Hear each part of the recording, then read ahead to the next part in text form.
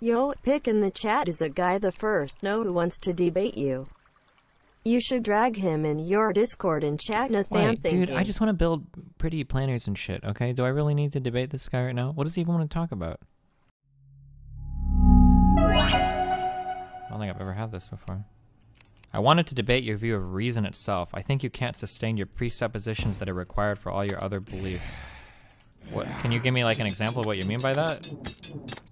Reason on atheism requires free will, but free will has no grounding in naturalism. I'd also mention the evolutionary argument against naturalism and Boltzmann brains. I only know what like half of those words mean, um, but I don't believe in free will at all. I don't think free will is required for you to be an atheist at all either. I don't know how those two things are connected. Like, I don't think those two things are connected in any way, size, shape, or form, unless you've like explicitly connected them as a person if you say it, but I've never heard that you need to believe in free will to be an atheist. Are you perhaps deterministic? Um, I don't like to say deterministic because when I say deterministic, it results in a whole bunch of autistic, like some really stupid objections. But yeah, I pretty much am. Um, or if I'm not deterministic, I, I mean, because people always bring up some weird Copenhagen quantum bullshit. If I say no, I'm not deterministic, I mean, I would very easily say free will definitely doesn't exist in any size, shape, or form, unless you do like in a weird compatibilist sense. Um, but um, yeah, I'll say that much.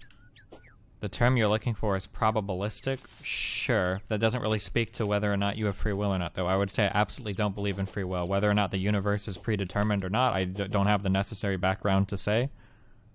I assume when Destiny said he believed that things were deterministic, that was the same saying they were predetermined. I could get on board with that, I suppose. Well, even if I say they're not deterministic, I have zero, absolutely zero, zero belief in any form of free will whatsoever. Zero, absolutely zero. I don't think that you can possibly believe in it without entertaining some type of delusion, is what I would say.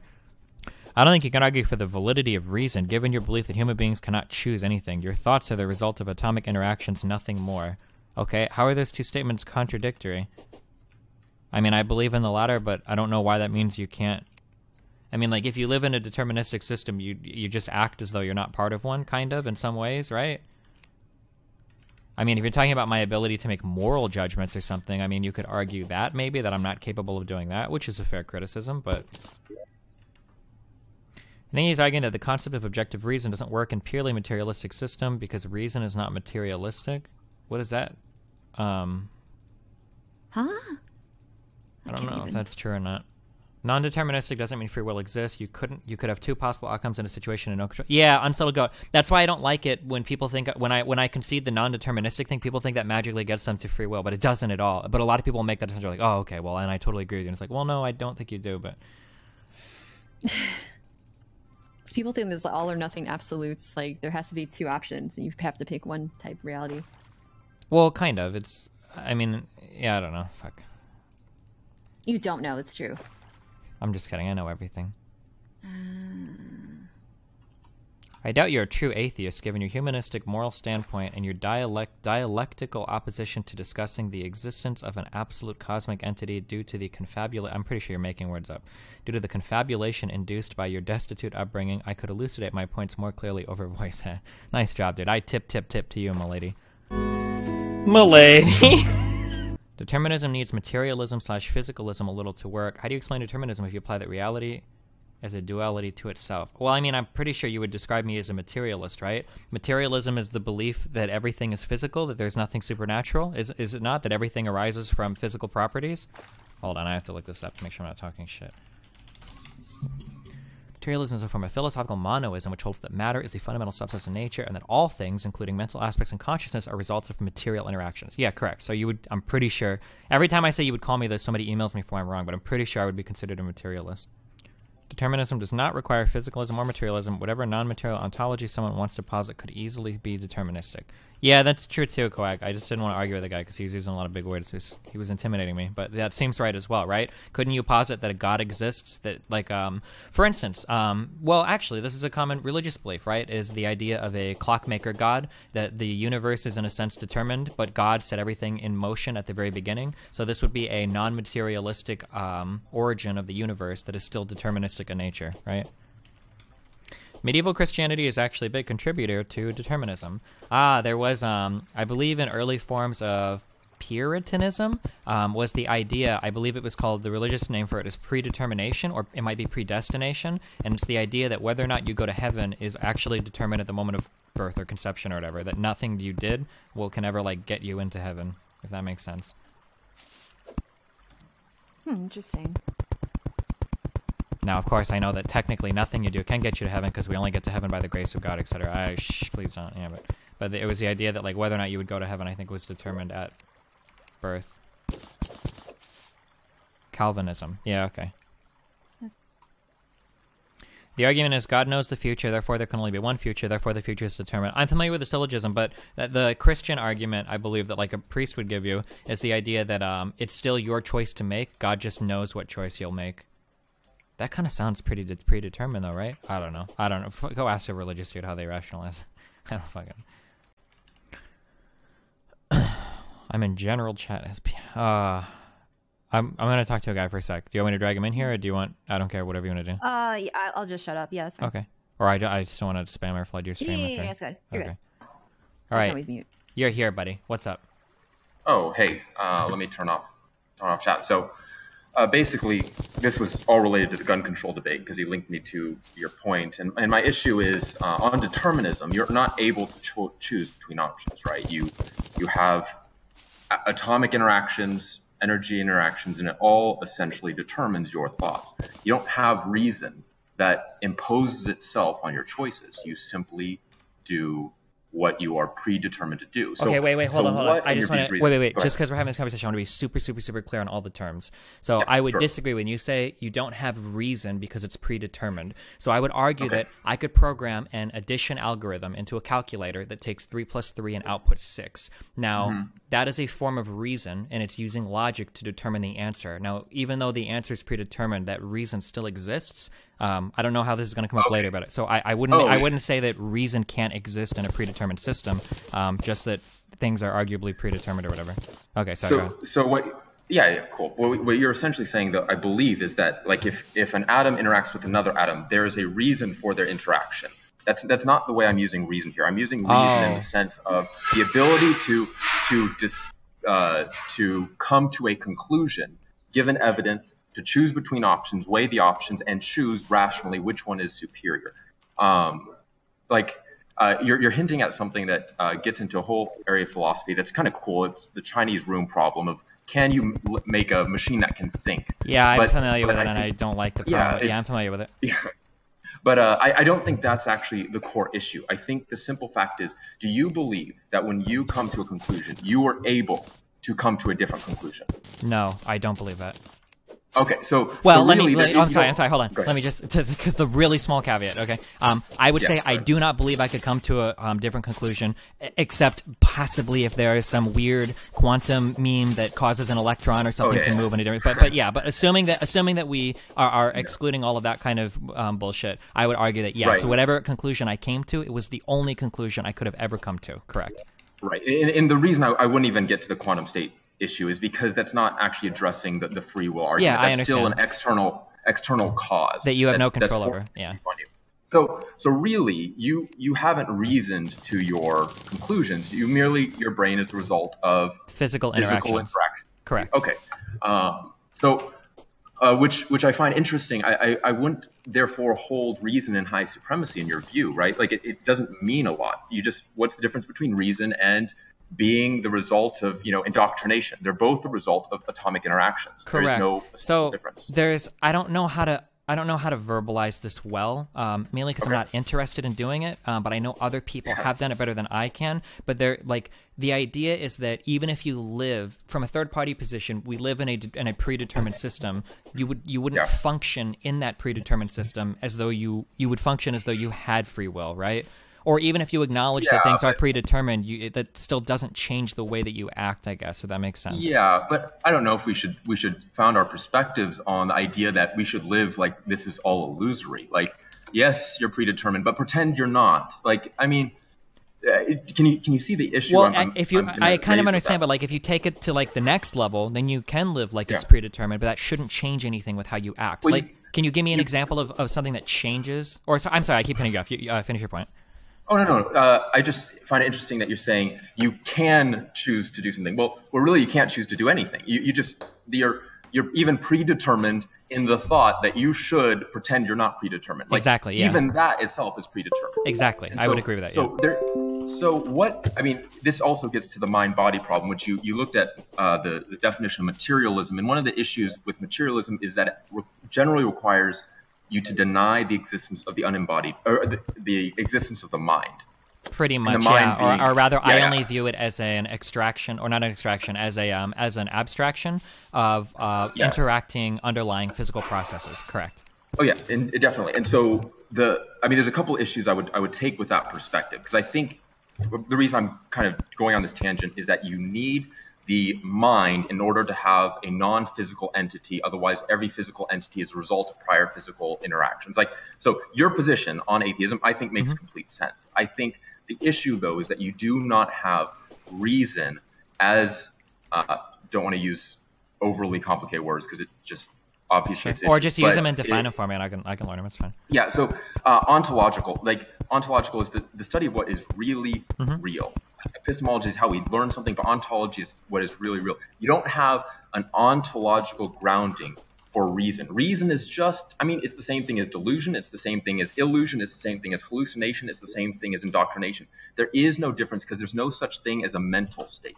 Now, I would take issue with this um, because, in uh, for for one thing, in philosophy, you can distinguish between two things if they are not identical. If what is true of one is not true of the other, right? So if we can find one thing, one thing that is true of your mental state that is not true of the physical world, we can distinguish between those, or specifically the brain.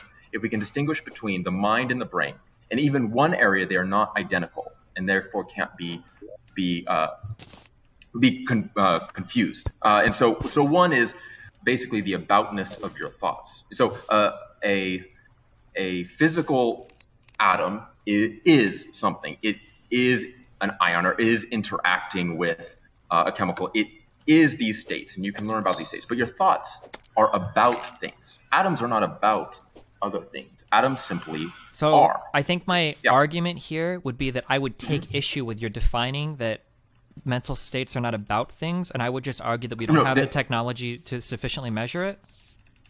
Okay, uh, I, I don't mean sorry. I mean uh, our mental state states are about things. I mean this is obvious. You think about things. You're Okay, thinking sure. about my argument right now. Sure. And so, but no physical, no physical entity is about something else in and of itself. Oh, like an atom is not about another atom. right? Gotcha.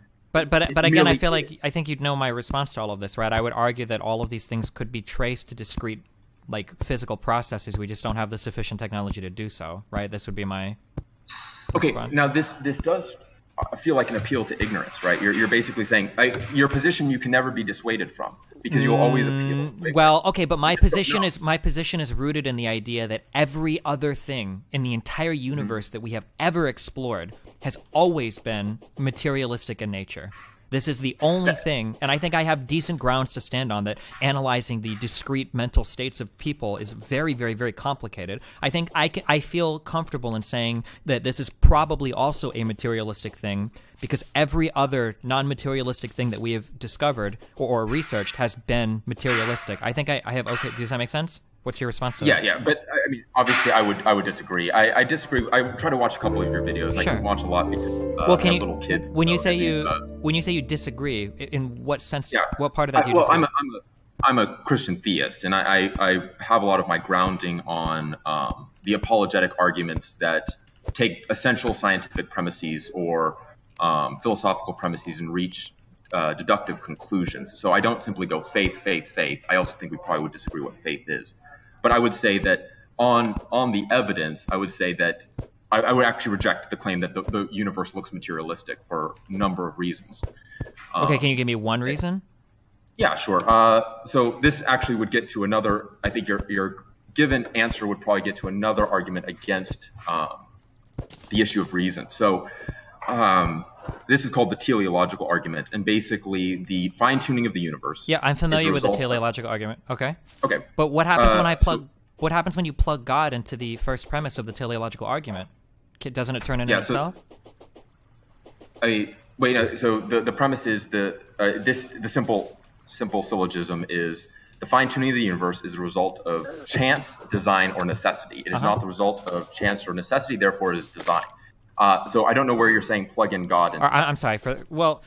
Isn't the teleological argument essentially argues that the universe is so complicated and so finely tuned that it must have been created by someone else, right? yeah, I mean, that, Yeah. on, on probability. We're Yeah. not dealing with absolute certainty. So- but I would say. I would Yeah. So my yes. question is, why can't I say that God is so um, is so fine tuned and so perfect that Oh, he yeah, wasn't created cool. by someone else?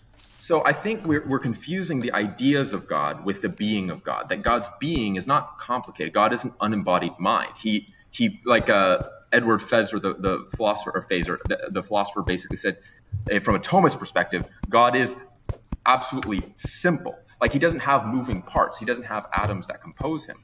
But God being pretty simple, he doesn't have a limitation on his knowledge. It's not like an arbitrary limitation that's complicated. No, he simply has all knowledge. He simply has all logical power. I feel like uh, you. I feel like you're trying to win this. Um, what would I? What would I say? Ta- tautologically, like you're trying to give a definition to God that makes it so you win the argument. Like you, you have a Th- th- this definition that an all-powerful being that can manipulate Yeah. everything in time and space and matter and every individual person and read everything. And you're arguing through your redefining of words that this entity is simple. That I feel like I would take issue with that. Well, well, uh, can you agree that on a Christian theistic perspective, God is not a physical being, like by nature? Well, right? yeah, but it, but that's That- I but, mean, that- that's- but that's that's not fair because you, because again, like you're winning your argument on definition. Like you're you're essentially begging the question. It, so I mean, how so? Well, because you're essentially saying that like okay, the universe um, is so finely tuned and, and so crazy magnificently perfect that it must have been created by something that, that had a hand in designing this. And then I go, okay, Uh, well no. why why can't I? Well, I'm sorry, am I misstating that? No, no, no. Finish your thought. Yeah. So then interrupt. I so then I would say, okay, well, if you want to claim that that that is not that the universe can't possibly exist without having been pre-designed, then I would argue that all the properties that I give the universe, you give to God. So why can't I say that God must have been designed by someone else? And then it becomes progressive. But Uh, then you redefine God to say, well, no, he's actually really simple, which Okay, I, I understand. I understand your critique, but Uh-huh. I, I really don't think uh, historical theology. I mean, like go back as far as you want. It has always had the presupposition that God is not a physical entity. So, so simple, simple fact. If I point out like the the fine tuning of the uh, low entropy conditions of the initial universe, like that's not a property you can assign to God. He's not a physical entity. It, it simply can't be applied to him. He just is a spiritual, a spirit, a spiritual being. So, so this isn't me begging Well, I- this the question, not winning by definition. This has simply always been the historical theistic understanding of what God is. Like, I'm not begging the question. This is simply what they've, the, what Christianity and theism in general has always held to. Okay, I I still disagree that I, I, I okay, so explain so if God exists as something that is capable of creating the universe, why can't Mm-hmm. Yeah. I ascribe to him properties that by your own syllogism would make it necessary that somebody defined him because he exists outside of Sure. the universe or Sure, because because the, the properties that I'm specifically going to address are physical properties. They by definition would not apply to a non-physical entity. Like that that's definitional. so complexity is a physical property to you? I don't. I, well, no, I rejected. I rejected complexity. I, I said we need to we need to distinguish God's thoughts and God's being. That God is not a physical being. He's not a complex being in the sense of all these moving parts. God is not like that. He is. He's actually simple. He he doesn't have this this complexity to him. Um, and so the the fine tuning, however, like the low initial low entropy conditions, is astronomically fine tuned to the point Okay, where it's, it's. Okay, so I still don't like the way that you let God escape the, the, the syllogism, but we'll, we'll move past that because I also don't like the way that you say the, the universe was fine tuned in the beginning. Um, So, for instance, if I were to take a, um, if I were to take, um, if I were to take like a like a bag full of marbles and and shake them in the sky and then release them and let them fall to the ground and let them scatter in whatever position they wind up would be a, one in a tr- or or actually we can make this more simple um, shuffling a deck of cards right that if, that if we shuffle a deck of cards um, whatever whatever you shuffle the deck of cards as, it'll be the only time in the history of all of mankind that it's ever been shuffled in that way. The odds of shuffling Right. a deck together the same two times is it's 52 factorial. It's it's a massively Right. huge number. Um, however, I, I, there's there's a name for this fallacy, but I don't know what it is. But like, you can't say that just because it wound up in some way that it was supposed to wind up that way, or that it was fine tuned for it to wind up that way. So, for instance, life exists on Earth not because the sun was put in the perfect position for life to exist in this way, but rather life grew around the initial starting conditions. The conditions weren't made Okay. to create life; life just happened out of the initial conditions. Is what I would say. Yeah, Sorry, yeah. I, I absolutely understand. Yeah, no, you're, you're you're absolutely right that this is generally the contention that an atheist will throw out. There's a couple of problems with this. Um, the first is that we are specifying the, the, the issue of complexity prior. So so I, I know we, we have now existed after the, the issue of the Big Bang, but imagine that. Let's go with your first analogy. You threw the marbles up in the air and they land and they spell out destiny. I am God. I exist. Worship me. You would you would assign some level of significance to that. Okay, right? okay, but there's a problem with this analogy is that you have assigned a special property to humans. So I don't want to use the begging the hmm. question again, but your argument almost becomes circular. You are saying because my argument is that humans aren't anything special. We're part of the materialistic universe like anything else. So when you say, "Well, look at how crazy it is that something as complex as humans exist," I would No, argue no, that we're just actually not my argument. or, okay. I- well, because it make, you make it sound like that because like the marble spells something out that makes them special. I mean, I would no, argue no. that humans are nothing special. We just happen to No. result out of the. Okay, go ahead. sorry, the, the, the, my point there, and I wasn't clear. My point there is that when these marbles spelled out something, there's there's like a, an intelligence to it, right? I mean, just answer me honestly. Like, if you threw the balls and they fell in the pattern, "Destiny, I'm God, worship me," would you, like, would you consider that different from if they were a random scattering messed around, right? Yeah, I would. You- you I would, accept that, but I'm rejecting And, the and why is that? Okay, so Be- why is that that you because it- assign that? Because because it appears has- ordered, right?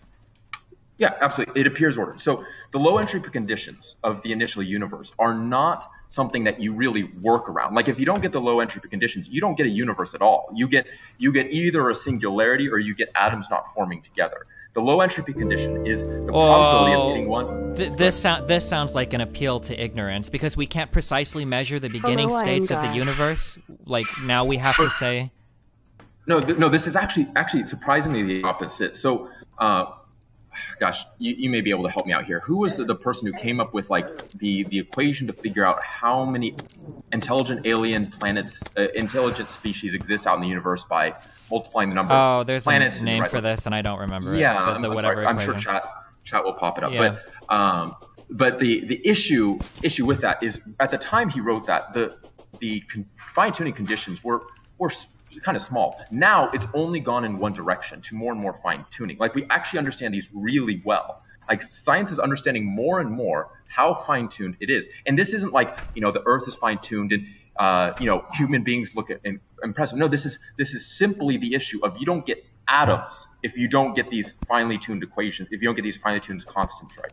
Like you don't get stars. You don't get any of this. It's not simply you don't get humans. You get a different animal. It's you don't get matter. And so so this is the this is the issue. And and here's here's the crux of it is like the low initial entropy conditions. Throw out a number is one out of ten to the tenth to the one hundred and twentieth. Like uh, in order for the solar system, as, as we experience it now, you sitting there at your computer, me sitting at mine, um, you you see uh, you see at yours, me sitting at mine. If this was all to randomly form by atoms colliding, and, and we all have our memories like this, the chance of that is one out of ten to the tenth to the sixtieth. Uh, like this, But that's- as Roger That's okay. Roger That's okay that's for me though. chicken feed. That's No, no, no, no, no, no. But I- but I'm okay with that. The, the difference is So You're the one that's saying that it seems like you're making the argument that this is some special thing. Like I acknowledge that it could have been a million different other things or different ways, or maybe Oh. life wouldn't exist at all. Like I don't think that human humanity is any kind of special thing. Oh no, no. So uh, yeah, I, I understand what you're saying. My, my point there was that this actually gets to the, the Boltzmann Boltzmann brain issues, and someone corrected my spelling, and I do apologize for that. It's uh, B O L T Z M A N N, and this has a lot to do with the multi-worlds hypothesis. So one of the ways atheists will escape this is say there's possibility of multiple universes. You haven't said that. No, I But don't the- believe in that. But okay. Okay, okay. Well, the underlying issue with this and, and with what you said is that it is much more likely for a universe with an intelligent creature to be a universe where a brain, singular brain, pops into existence, is deluded about its surroundings, then pops out of existence. It is more likely that you, Destiny, are that, given given just the, the fact that that is the more likely assembly of atoms. So, by sheer probability, given what you know about the universe, that should be how you perceive of life Well, I- because it is it is astronomically more probable than the the massive universe we actually see with its fine tuning constants and qualities. I, I feel like there are a ton of baked in assumptions there that I would challenge, like so many of those. Okay. Um, w- w- you think it's more likely that my brain popped into existence out of nowhere and that I am conceiving of a universe rather than the universe actually existing and being observed? Correct, correct. Why? Because okay, because again, like e- even just this solar system to to randomly assemble, like not the way it did through through the stellar evolution, but simply random atoms bumped into each other, boom, The solar system is one out of ten to the tenth to the sixtieth. And Roger Penrose, the uh, astronomer, said that this is utter chicken feed compared to the low entropy condition number. So, but that is much more likely than the universe as we see it. Not only that, but imagine what the most simplistic universe is that could have an intelligent being in it, a being that is aware of its surroundings. Well, as far as we know, from a physicalist perspective, a naturalist perspective, it would be a single brain pops into existence in a tiny universe, deludes itself about what is its surroundings. Like this is just smaller Okay, okay. of ho- Oh, yeah, hold on, hold on. But- Okay, I, I feel like this is at the crux of our argument, and you keep saying it's Yeah. not, but we have to reconcile this. It, so, Okay. it, the, the difference between our positions, and and maybe you can tell me why I'm wrong on this, because I think we keep going back to this. It really does seem to me like you ascribe very special things, very special properties to the universe that exists today. Like, I can't see why else you would keep bringing up the idea that it's a one out of you know 50 quadrillion chance that this even happened. Like, I know that the chances of our universe existing as is is, is very slim, but I um, I could conceive a million other trillion other universes that could consist. True. Like, I don't see anything special about this particular universe. Okay, so so let me put it this way because I think this this may help out a little bit. Like let's say there's a um, there's a firing squad. You're you're some you're uh, condemned to be executed by a firing squad, and you're blindfolded and they line up hundred expert marksmen. The countdown is given. They fire the shots, and the blindfold is taken off, and all the shots miss. And they do it again. They do it again. All the shots miss again. Now your friend turns to you and says, "Oh, don't don't worry about it. It was just random chance. I mean, after all." Okay, okay, okay. Hold on, hold on. We're, we're, anywhere. we're super. Okay, I'm 100% positive that we are not connecting on this topic now. Okay, on every single example that you're giving me, you're, you're, I, Yeah. I reject your dichotomy because you are giving me a binary success or failure on every example you've given me, which Mm. Yeah. shows that you believe that the current universe is successful, like the binary would be successful, and any other type of universe would be a failure. That's why in every no, no, not any other. Okay, but, but, but in every So, example you're giving range. me, in every example you're giving me, you're saying that like imagine there's 100 people lined up against the wall and then it just happened to not hit your friend. This is this is pass or fail. Or like marbles Mm-hmm. Yeah. drop on the floor and create some specific condition that's pass or failure. But but I don't I don't view the universe as this pass or failure kind of way. I think that it could have existed in a trillion other kinds of things. And Okay, yeah. and yeah, and see, I would I would agree actually with you on this. I would say that there were lots of combinations, and just for the sake of argument, lots of combinations that could have intelligent life on Earth or in different planets or you know different type of universe. However, with when you look outside of that range, that could potentially have life. I mean, like let's say you require it to be outside of a you know um, a singularity, right? You can't have really life at a singularity, so it can't be a singularity. It can't be where all the atoms are completely spread out in a in a uh, absolutely chaotic pure entropy condition. You can't have that. It has to be some semblance of interaction between the atoms, and so so there's a range that that you have to get right. So what we do is we compare how many options are within that range that could support life, even like let's be generous to the, the atheist, and how many are outside of that. That's what Roger Penrose pointed out is that even just one constant, and there are tons, even one constant, the low entropy condition is so astronomically impossible. So I, I don't say impossible, so astronomically improbable that it just simply boggles the mind. We can't conceive of a billion of something. How can we conceive of 10 to the 10 to the 120th of something? But uh, like you're baking in so many other types of assumptions here. Like life could even exist in ways that I think we haven't fathomed. Like st- there are theoretical constructs for like how uh, methane-based life forms, like not even carbon-based life forms, could exist. I'm like really uncomfortable with this characterization that we understand the big. And I, I've got a friend that does physics a lot. I can bring him in. Maybe he can speak to it better. But like I'm really uncomfortable saying that we understand the origination of the universe so well that Okay. we can start to characterize the possibilities of intelligent life existing when intelligent life could exist in ways that we don't even possibly understand. Like that seems like a Okay. huge assumption to make. so do you think that life could possibly exist as singularity? What do you mean by singularity? I mean, this every single atom, all the energy of the universe crammed into one spot. I mean, with with zero space to it. It could, but it's that's unfathomable to me. But Okay. Uh, do you think it could exist when there's atoms, but not a single inter- atom interacts with each other? I don't think life can exist. What we define as life can exist as an atom or a single atom or a subatomic particle that doesn't interact with anything. I would agree with that. Okay. So so you would agree that there are they're even given your position, like even if I if if I go with it and say let's appeal to ignorance, we don't know, maybe, like you would agree that there are ranges outside That there are ranges outside what? What do you mean by that? out, out, ranges that are outside of uh, that the possibility of life existing. You cannot outside of this area have life at a at potentially a singularity, but definitely at the point where atoms are not interacting or energy does not interact at all. Like there there are areas that you would also agree do not have the possibility of having life. Sure.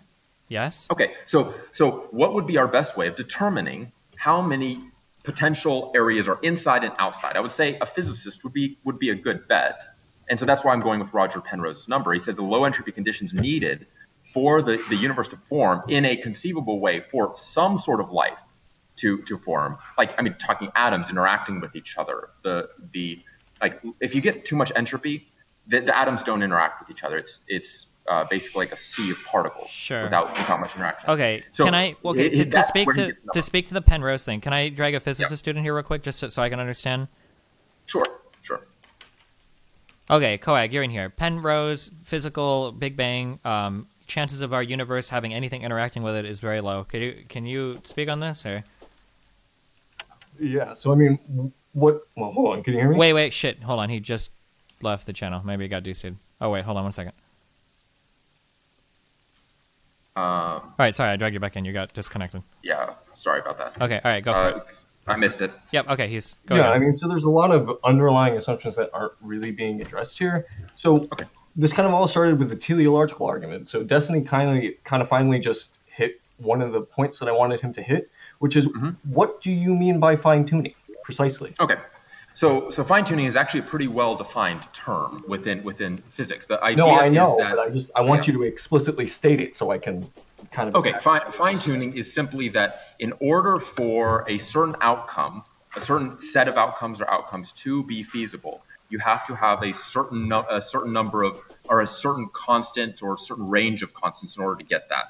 Like that's finely tuned. That that there are lots of options, but most of the options will not get a result that is positive. Fine tuning is the narrowing of that. You you have only a few of the options. Or what? Or, or I mean, You're speaking vaguely in terms of Oh, yeah, yeah, some sure. set of Sure, uh, conditions. life- life conditions at all. for what? life at all being possible. Any life at all, life not human at life. all being possible. Can you please give me a scientifically rigorous definition of life? Uh, sure. So science has several categories of life, and they, they aren't always mutually exclusive. The the, uh, the ability of a uh, the organism in question to reproduce, um, to like I this this is a, a whole subject for debate, but I, I I believe you would agree that. Okay, so Hey, do you want me to do you want me to pop Yeah. up the Wikipedia article and just read off a couple of them? I, No, that but could be. the, the Okay. point that I'm trying to elucidate here is there is no good formal definition for life, right? Life Okay. is kind of a concept in biology that life is as life does. We call it as we see it. It's more of an ostensible definition. Okay. Okay. We have an incredibly biased picture of what life is and could be. So when we mm-hmm. say this is kind of what Destiny was bringing up earlier, there are only a set of cosmologies that would allow for life as we know it to exist is an incredibly naive statement because Okay. we have no idea what actually constitutes life right is it is it the things that you were describing is it metabolism reproduction et cetera et cetera or is it just information processing of some kind right Okay, so wait, I information will, I will worry about a fine tuning problem in the context of producing life when we have a more rigorous, serious definition of what exactly constitutes life. Until that Okay. point, it is not a good conversation to be had, and it's especially not a good conversation to stake the teleological argument of religious apologetics on. Okay, well, well, let me let me ask you simply this: Could any feasible system of life, and, and then you can give me an example of, of feasible system of life exist as singularity, and, and then you can explain what you mean by a possible life. I'll, I'll say no, given on what I know, but Okay, excellent. So, much. okay, do you think that life could exist where there's zero interaction between subatomic particles? Okay, so um, probably not in the understanding Okay, of what I'm so what I would call that- life. But what do you mean no interactions between subatomic particle particles, right? Okay, You so- are so- arbitrarily saying that the coupling constants you would know what they would be in this set of cosmologies. Right, I do I not mean, think you- you know that because guess what? People like Stephen Hawking do not know what that those coupling constants are, right? We cannot explore this space or else we would have the solution to the measure problem, right? Well, I mean, this, This is an outstanding this- problem in modern cosmology. This is not Yeah, yeah, no, I- know. I understand that, but the low entropy conditions, if you're getting if you're getting on either end of the scale, you're getting like just the I mean, really on, on, on one end of the scale predominantly, you're just simply not getting interaction between particles, which you would agree would constitute You're not getting interactions with particles given the standard model that we have, which is an effective field theory built upon quantum field theory that we have no basis in applying to other sets of cosmology with fundamentally different coupling constants. Okay, yeah, I so let, let me give an analogy. Um, so SETI looks into space and they, they, they look for information from space, right? They're, they're trying to, to get, uh, to, to hear from aliens. Now, what are they listening for? Generally some kind of well, obviously they're looking for radiation because they're using SETI, and it, you know we hope to see some type of thing that we would expect uh, is significantly different from noise, right? Maybe a string of prime numbers, something like that. Interesting. So, so why but- those? I, I don't understand why you're trying to make this point. Yes, we have things to look for to narrow our space of search because we have a naive idea of what life should be. Now, so what if I said, wait, hang on, search. hang on. Like, no, if we could get a, a string of information that comes from space that says we are aliens, we come in peace, and then a person could say, no, we simply don't have enough knowledge to know what kind of physical, non-intelligent entities That can produce this string of information. to the argument I'm making, even in Oh, principle. oh, it, well, no, it is because here's the issue. No, it's not. You're- What I what I would say is I would give you that because a rational updating of a Bayesian credence, credence would tell you yes, the prior being that you see this uh, string of information that generally does not arise in nature, right? Because that's how we tell design from chance in nature is we compare it to thing that things that we know are design. Okay. Can, can, can I, for a quick point that's related, so I just want to chime in real quick Yeah. too. Like another problem is we only have our one universe to compare this with. So, uh, and again, like this is why I keep trying to back up first and, and rejecting the, this entire dichotomy. This idea that there, uh, like you're saying that there are certain things that we recognize as being intelligent life. Well, that's because this is the universe that we have. Like it's totally possible that in a totally different universe, like there are other things that would allow us to recognize possible intelligent life too, right? Again, Destiny. Remember, I, I even I even gave you that argument. I like Uh-huh. I'm not even to contest it, and said even then you would agree that there are things outside the parameters for which life cannot possibly exist. Like well yeah but even, this was this yeah. was the idea that you were trying to claim or were claiming that we understand and you can tell me if i'm mischaracterizing this um, the idea that we understand the initial conditions of the universe well enough to say that it is highly unlikely that any two a- atomic things would have ever interacted with one another right was your initial Yeah. So so again, part of part of this low entropy condition is simply the, the interactions of the, the particles. That, that if you have enough chaos, you're, you're not going to get particle interaction. which is something that Like, I, don't, I don't know if that's true. I have a really hard time believing that that's something that physicists like super strongly believe in, and that's I, I don't know the answer to that. Okay, well, uh, I mean, in, in chat later, I can I can link to Roger Penrose's work on the subject, or, or some other. Sure. What what is uh, what is Roger what is Roger Penrose? Uh, Roger Penrose is actually one of one of the most. I, uh, your physicist friend, if he's still in here, Uh-huh. uh, may be able to chime in. Uh, Yeah, I mean, I don't, I don't. So you keep invoking. So what, what, what you're invoking is something called the past hypothesis, right? The, the I'm boundary. sorry, sorry. Say again. I couldn't hear you. Uh, the thing that you're invoking is this thing called the past hypothesis, is what it's been formally named, and it's this idea that the boundary conditions of our uh, classical description of the universe, I might add, this is a classical description of the beginning of the universe because it's general relativity, which assumes a background classical space-time.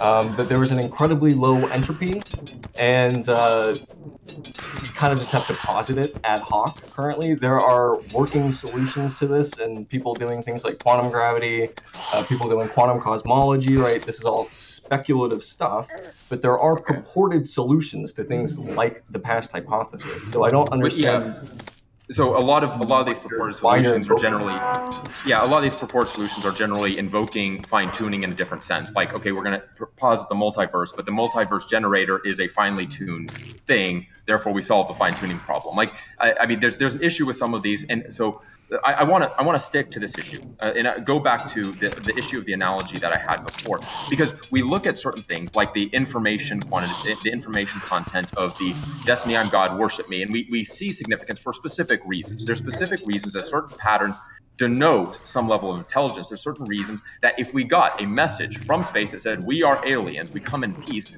we would denote. We wouldn't simply go, hey, what we what we know about space is so amorphous. We we maybe this is there's something out there that produces this information string of we are aliens, we come in peace. Therefore, we really cannot conclude that there's an, any intelligent life out okay, there. Okay, but I still don't like this statement because it sounds like you're making the assumption that this universe we know that because all of the fuck. I wish I had a better way to, to explain this, but like it sounds like you're mm-hmm. saying that we know how the universe exists in this one way. So if we see something inside this universe, that all of a sudden means we can say that it only can exist in this way. And I feel like that's a really okay. bad assumption that that's not, you can't make right. that assumption. It is so, a bad assumption, which is why I'm giving a range.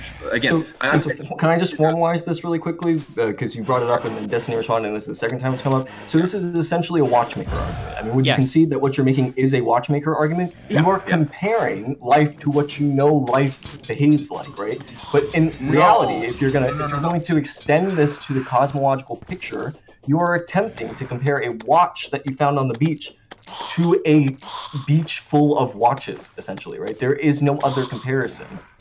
Wait, what what are the watches in your situation? In your so you know Paley's watchmaker argument? Yeah, yeah no, no. But what are what, you said, the... Hang on, you said a beach full of watches. What is that uh, analogy towards? The beach full of watches. It's meant to show that the mechanism by which you are by which you are deriving the idea of design, right? You say, oh, this message comes from space it seems as though it's you know highly complex, something that wouldn't occur by chance. Mm-hmm. And you're saying, here's the watch that I found on the beach. My point is that if you try and extend that to the cosmological picture, you are comparing a watch that you found on a beach full of watches. Right. Right. We have what, no what other idea what these cosm- other cosmologies so, like. You keep saying a beach full of watches. What is the beach full of watches? I, did, are you not following Destiny? I mean, are, are you, I'm, are, I'm saying, saying that the beach full of watches are other possible universes where life could be exist, or within this universe, there are multiple areas where life could exist. I, I need. Yeah, I need oh, yeah. So uh, if you're confused about that, yeah. So I'm making the watchmaker analogy there in terms of different cosmologies, right? So not within, okay, yes, but different so, so, cosmologies. Yes, yes. Again, remember, I'm not specifically going at one watch. I'm saying all watches in general. Like, like your beach, your your beach of watches would not point us to watches being produced naturally. It point us to a, a, plane crashing and watches falling out falling out of a box. Like simply finding more of something wouldn't do anything to okay. simplify the fine tuning issue. So let, let me see if I can do this analogy right, okay? Because because it sounds like what we're doing is we're using like an internal consistency to justify that this is the only platform that, that can exist. So let me see if this analogy fits, okay? So let's say that you have a programming language like Python, okay? Now, if you want to see if uh, if if other people, if other types of programmers exist, okay? The only way that you can do this is by looking for, say we have a, a giant, a, a PETI, okay, a, a, Python extraterrestrial investigation thing that looks for other intelligent life, and it looks for Python statements, okay? That if you were you were you were looking for these statements to see if other Python programmers, which is an, analogous to hu- humanity or intelligent life, exists, right? Using this internal kind of um, rigor, we can say the only possible type of intelligent life that exists is life that can program in Python, right? But because we exist independent of this, we can say, well, no, look, there are tons of other types of programming languages that aren't Python. We know that. So for somebody to make the statement, well, if I don't find, you know, other Python, you know, snippets of code out in space, I know for a fact that no other programmers exist. We can go, well, no, that's ridiculous. Wait, this is actually really interesting. This would actually, this this argument would actually go against your atheism because you'd say we have this system of deducing whether God exists, and I don't think you you put forward something like this. But if we don't prove that God exists with this system, therefore God does not exist, your, your argument would actually be detrimental to that, not to my argument. No, what I, what I'm saying is that because you keep going back to the idea that we know what to look for when when we know what to look for life, therefore we know that life exists. Well, no, because we only have ourselves to compare it to. The same way that the Okay. person using the Python investigator would only have Python to compare to. But we know that there are tons of other types of programming languages. So, like in this universe, we have Yes. what we consider to be life, but there could be tons of other types of life so that we either haven't fathomed or that another universe could have created, but we'll never know about it because we just can't conceive of other universes. Right, and remember, I actually, I actually gave you this for the sake of argument. I said, sure. Like, let's say there are tons of different types of watches you can have, of all varying Okay. complexities and different conditions, and all that, all that sort of thing. I gave you that. I said, let's put a a stopping point on one end and a stopping point on another end. Where on one end is singularity. On Okay, okay. So th- this is the thing that yeah. So this is the thing that you keep mentioning that we have to just solve because it sounds like your argument keeps going back to the idea that the chances of our universe existing as a non-singularity are is accepted to be almost nothing. That seems to be what we keep going back to, right? Yeah, I mean, for for life in general, there's there's various constants and quantities, but I I, I use low entropy condition because it is so finely Sure. tuned that going over the odds of it are just Yeah. Okay. astronomical. So, I, I I, understand. I would so I would can, can I we would see the argument to Roger Penrose. Go ahead. Do do we, is that something that Penrose actually states that the chances of our uh, universe existing outside of a low entropy con- condition I'm are? not partic- I'm just not but- particularly interested in what Roger Penrose has to say about this. He is not a working physicist and he is not a working cosmologist, right? If you want to know about the actual cosmological He's, address- he's, he is a mathematical physicist. He's not a working cosmologist. When's the when's the last thing that Penrose has published in I, I, I actually of- don't I don't know that. Um, I mean, would would his would his findings on the low entropy conditions be disproven by by something you found? No. So what I am bringing up is that there is not an agreement that the low entropy boundary conditions of our universe is a problem depending on how you choose to solve it. It's like you talk about the problem, but then you don't actually talk about any of the people that are working to solve this problem. Okay, okay, let's let's actually actually stop right here for a moment. Let's Mhm. see if if there is a possible way for you guys to be wrong. I just it's it's okay if you say no. I'm not, I'm not going to hold that against you. Uh, my my point is, let's say that the fine tuning of the universe could potentially be the result of an intelligence. Would there be any possible way for you guys to get past the we just don't know, so we're going to say we we'll keep looking until we find an answer conducive to our pre pre-gone conclusions? For Is me, there any for me, other- I would be yeah. looking for some sort of materialistic evidence of that being true. That's what I would look for. Precisely, okay, so- right? I want a scientific way that I can demonstrate that particular position. Okay, such as Some type of observable phenomenon that can be tested Exactly. and retested. I- like I the mean- low entropy conditions. uh, well, this is like, No, excuse me. like this is Low like a, entropy p- conditions are something that could unequivocally have occurred naturally without impos- uh, imposition of a divine authority figure, No, they can't. They can't. This is the point. You are positing that. That is, I'm telling you, as someone who is a scientist, not directly in this field, but who has poured through the literature on this topic, that is a lie. That is a bold-faced lie. What what specifically is a lie? That, that the low entropy conditions of the universe that we have could not have occurred naturalistically. That is I didn't say that. I didn't say that. You just said that. You said that the low entropy conditions could not occur naturally no, without I'm saying. an interceding No. being. I, Destiny, did I ever say those words? It sounded like you said it, but maybe you meant to say. Okay. No, no. No. So, so then, then I, I obviously was not the one being clear. No, I'm saying we're dealing with probability. Yeah, I'm saying that's this what you said initially th- to me that the chances of that Right. happening are in, infinitesimally small or whatever. But I think I think you yes, just said that it, that it couldn't occur. But uh, but I assume you're Oh mistaken. no, no, I could. I said it could occur. Okay, I said it bad. could occur naturally. That no, it could occur naturally. The point is the probability weight against it is so so one-sided. When we've been looking at the fine tuning over the last like 50 years, it hasn't gone in the direction of the universe coming to, to be less fine-tuned for life. All the constants, all the quantities have gone in one direction generally. One direction, and that is towards them being more requiring more fine-tuning to have any type of conceivable life. I mean, we're talking about on. the fundamental Did you just say Fundamental that the constants moved in a particular direction? The constants. Uh, no. W- No, You're I- gonna have to completely. Re- what are you saying there? I, that Oh, no, I- I think- wrong. No, the the constants quantities are are required. Like, uh, sorry, the the direction constants discovery. are hang on, hang on, hang on, In their name, constant. Okay, no, what no. are you talking about? Listen, the the direction discoveries have taken in the field is not towards us realizing that the universe is less and less fine-tuned, right? It's towards more and more fine-tuning. Like if we go back 50 years, we go back 50, like even 100 years. I years. still don't like the, universe word fine tuning because I feel like you're assuming the conclusion in the word that like No, no. The fine tuning is not is not a a religious word. It doesn't Okay. denote. relig- what can you is- what does fine tune mean again? Sorry, can you redefine that for me? Uh, sorry, fine tuning simply means that in order to get the outcome, it requires basically a very narrow narrow field. Like for instance, like In a- order, and the, fine- outcome is the universe as we know it.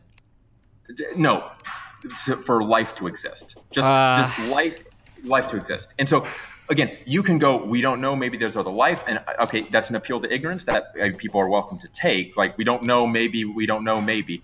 I, I'm my point there in the, the last little section was that if you hold this point as you guys have expressed it, there is no possible way for you be dis- to be dissuaded. for instance, uh, go ahead. That's not true. Like so. Okay, Okay. so So, again, and I feel through- like I feel like we're gonna. I feel like I'm gonna give my um, rebuttal, and then you're gonna go back to the entropy initial thing again.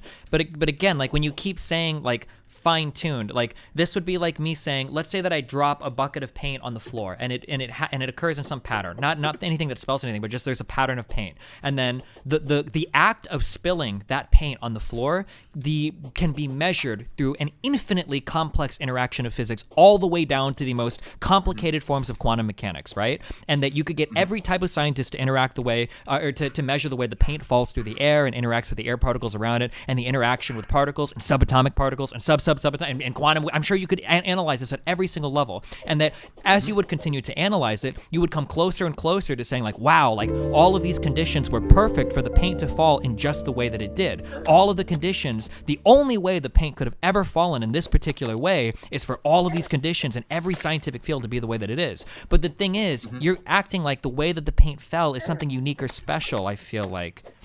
Yeah, well, well, again, for the the analogy that I brought up before was the the the balls falling in a, in a conceivable pattern, right? Like there's there's some yeah, but and, but again, this is the dichotomy. This is the dichotomy that I continue to reject. You keep saying in a perceivable pattern. I would not say Okay. that life that exists today is in any kind of perceivable pattern. It just what it, it's what is. I don't have another universe to compare uh, any other type of anything to. I just have what exists in this universe. There is no other pattern. I, I'm not comfortable declaring that. This is why I say it feels like your argument is binary, and I know you rejected that earlier, but it feels like your argument is binary. That the ex- the universe that exists as it does today is a past, and that there are past universes, but the chances of a past universe existing as opposed to a fail universe existing is infinitesimally small. Very, very, very, very tiny. Mm-hmm. But I reject Yeah. that. I would say that every single conceivable universe is a past universe. This is just the one that we have.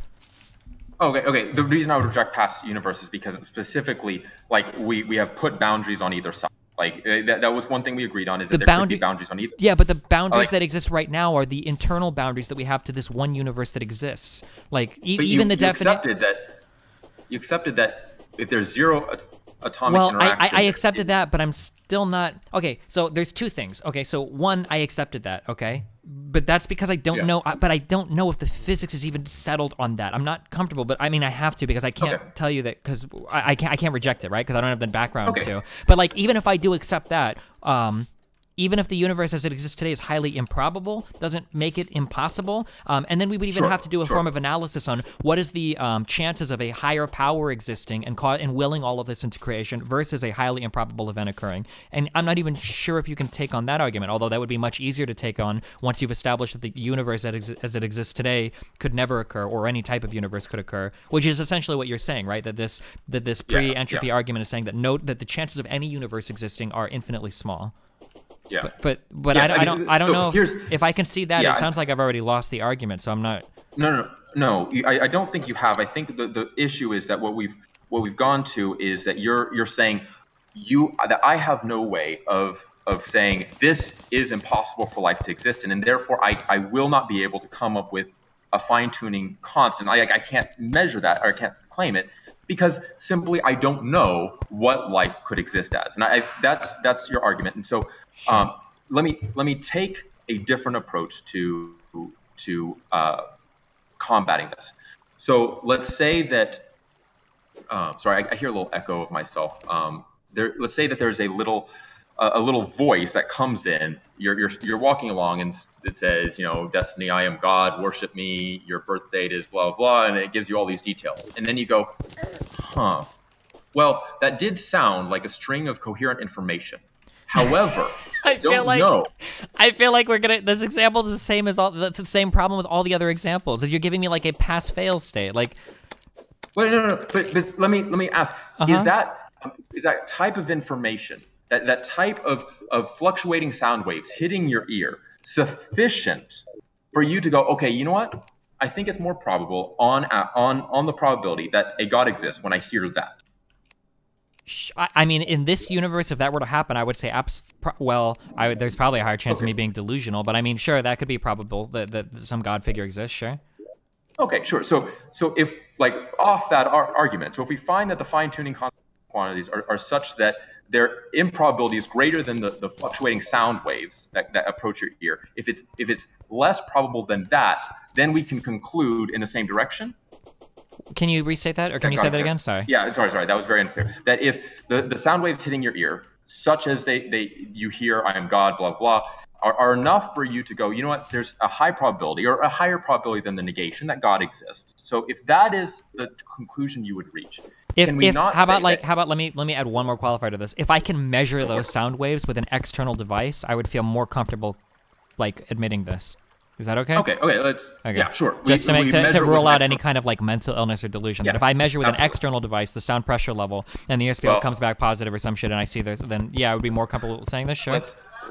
Let's, let's say you can never actually rule out delusion. Is one of the problems of delusion. You can be delusional about reading your. Yeah, own, but but uh, I, I'm I'm findings, appealing to some sort of external validation Sure. that other humans could look at this device and Yeah, also yeah, see what's absolutely, right? absolutely. Okay, yeah. So like, I, I don't I don't mean to be pedantic. Yeah, the, that's the issue there.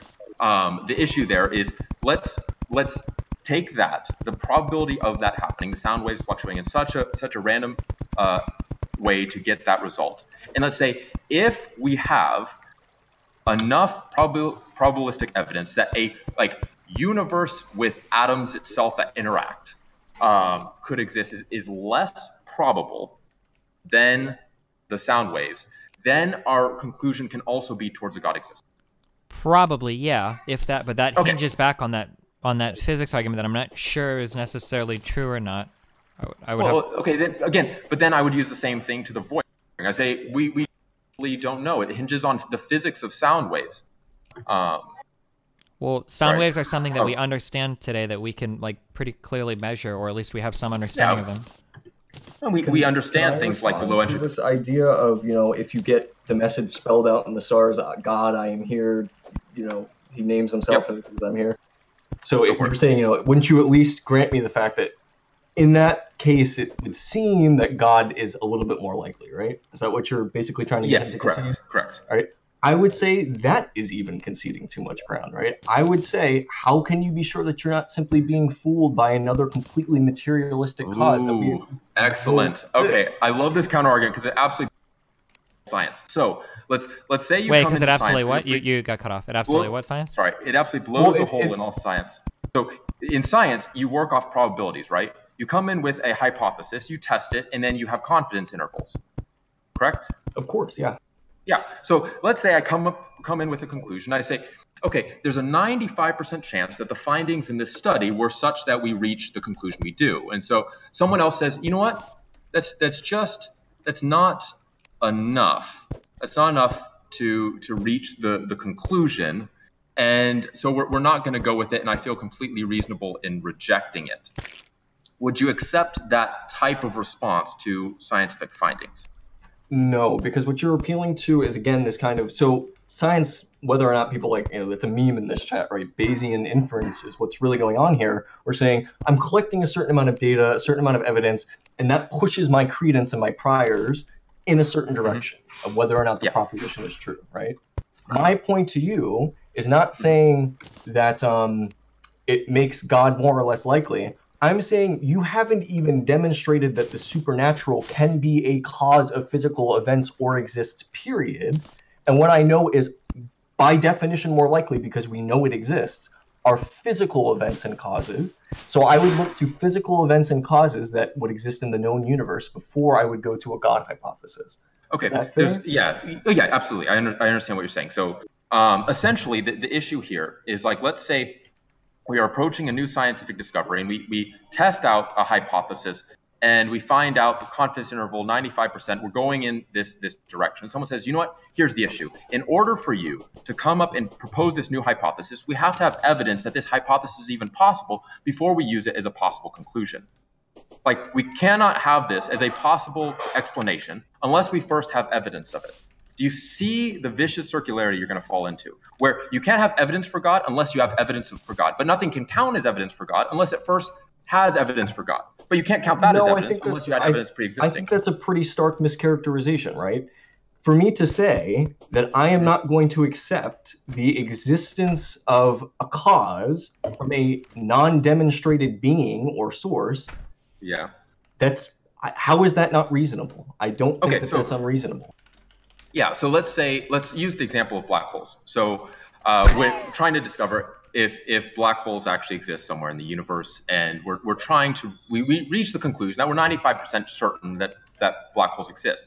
Your argument would be such that first, the only explanations we should first allow are explanations we already know exist.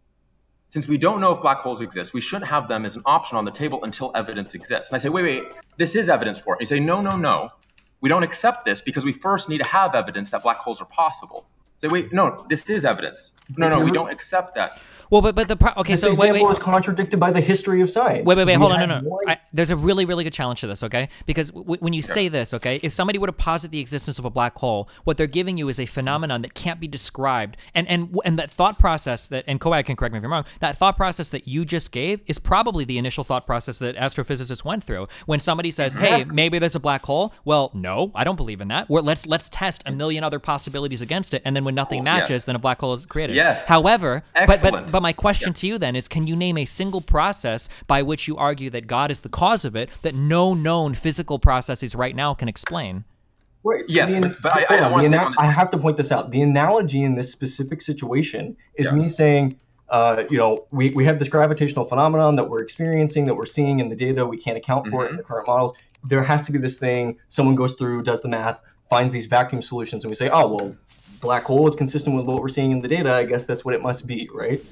What people Mm-hmm. do not do is then say, ah, well, actually, I believe that it's interdimensional pixies. And they say, Okay, wait, well, hang on, no, on, hang on. actually, we've That's- got a model Science called BTFO general relativity Duggars. that is Okay, this gets on a rigorously tested, empirical, and borne out by actual data. We're not going to go with the pixies example because you haven't even demonstrated pixies exist. We have an ontology that works and exists. Okay, the, the last line is actually the issue because at first you have to demonstrate it exists in order for it to be an option.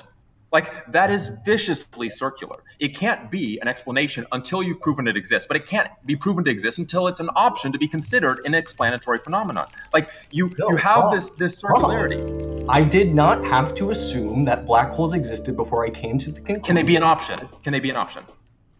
That's not how science works. We don't work in a preset of options that we say. Not preset. we Well- an underlying ontology. We just And- Destiny said a, a million options. We have Well, million even options. even if we acknowledge that left black holes exist as an option, I think that any reasonable person, coagulation included, would say that God exists as an option right now. I would I would certainly Okay. say that. Yeah, but the yeah. problem is there's just no materialistic evidence for it whatsoever.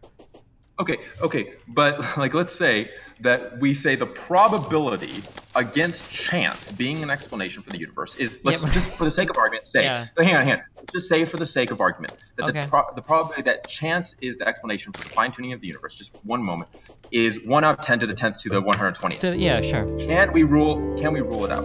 I don't think you can rule it out, but even if we I oh, there's like a million G O D problems with this, okay? But like S T I N Y like the first thing is that even if we rule this out, um even if we rule this out, hold on, fuck, sorry. Even if we rule this out, um, what's to keep me from saying, okay, well, we live inside of a simulated universe then instead of a god figure existing?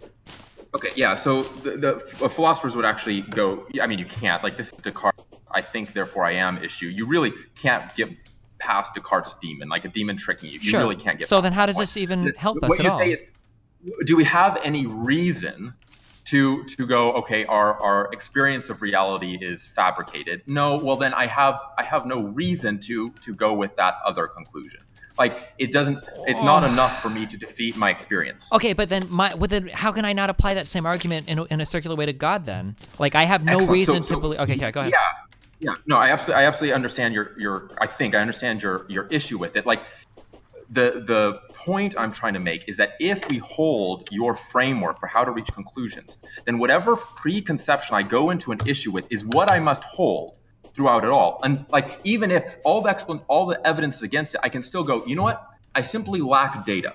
We're going to No, wait this is not. This I Yes. think this is again, a that's hold a- on, hold on. that's This is a a really blatant- bad mischaracterization of how science works. I think, right? We- We, create a framework by which we understand things. Okay, this framework should explain everything that we can observe. Right? If we observe something that cannot be No, explained no, by no, said no. framework, then we change the framework in order to match it. Right? But right now, the, what I'm and I'm going back to a question I asked before. I need you to give me an example of something that God does that that does that can't possibly be explained by our current framework that's what would cause me to reconsider the framework as it exists today. For instance um, maybe newtonian gravity might be an example of this right? We understand gravity super well. Newton figured out 100% well when we measure things in different ways it doesn't start to make sense anymore. Now we look Yeah. to frame to something that is external that framework such as quantum mechanics right to, to explain these things. So i need you to give me a phenomenon that exists today that you think could point towards a godlike figure that can't be explained whatsoever by a current framework rather than the Okay. initial point of the universe maybe made it highly improbable for atomic particles to interact with one another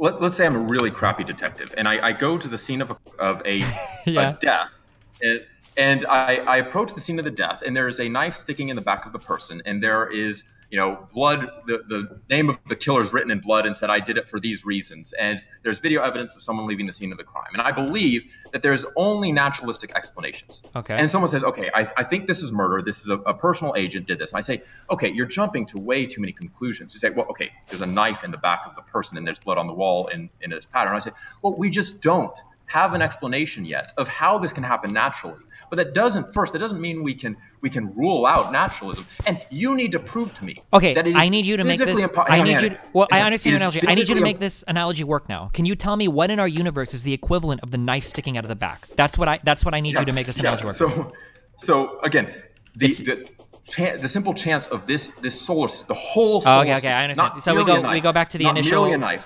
Probability thing Yeah, yeah. of the universe. Well, any, any, any, there's a bunch of different probabilities, but the simple fact is a knife randomly appearing in the back of a person by particle collision is more likely than the solar system, which is more likely than the low entropy conditions.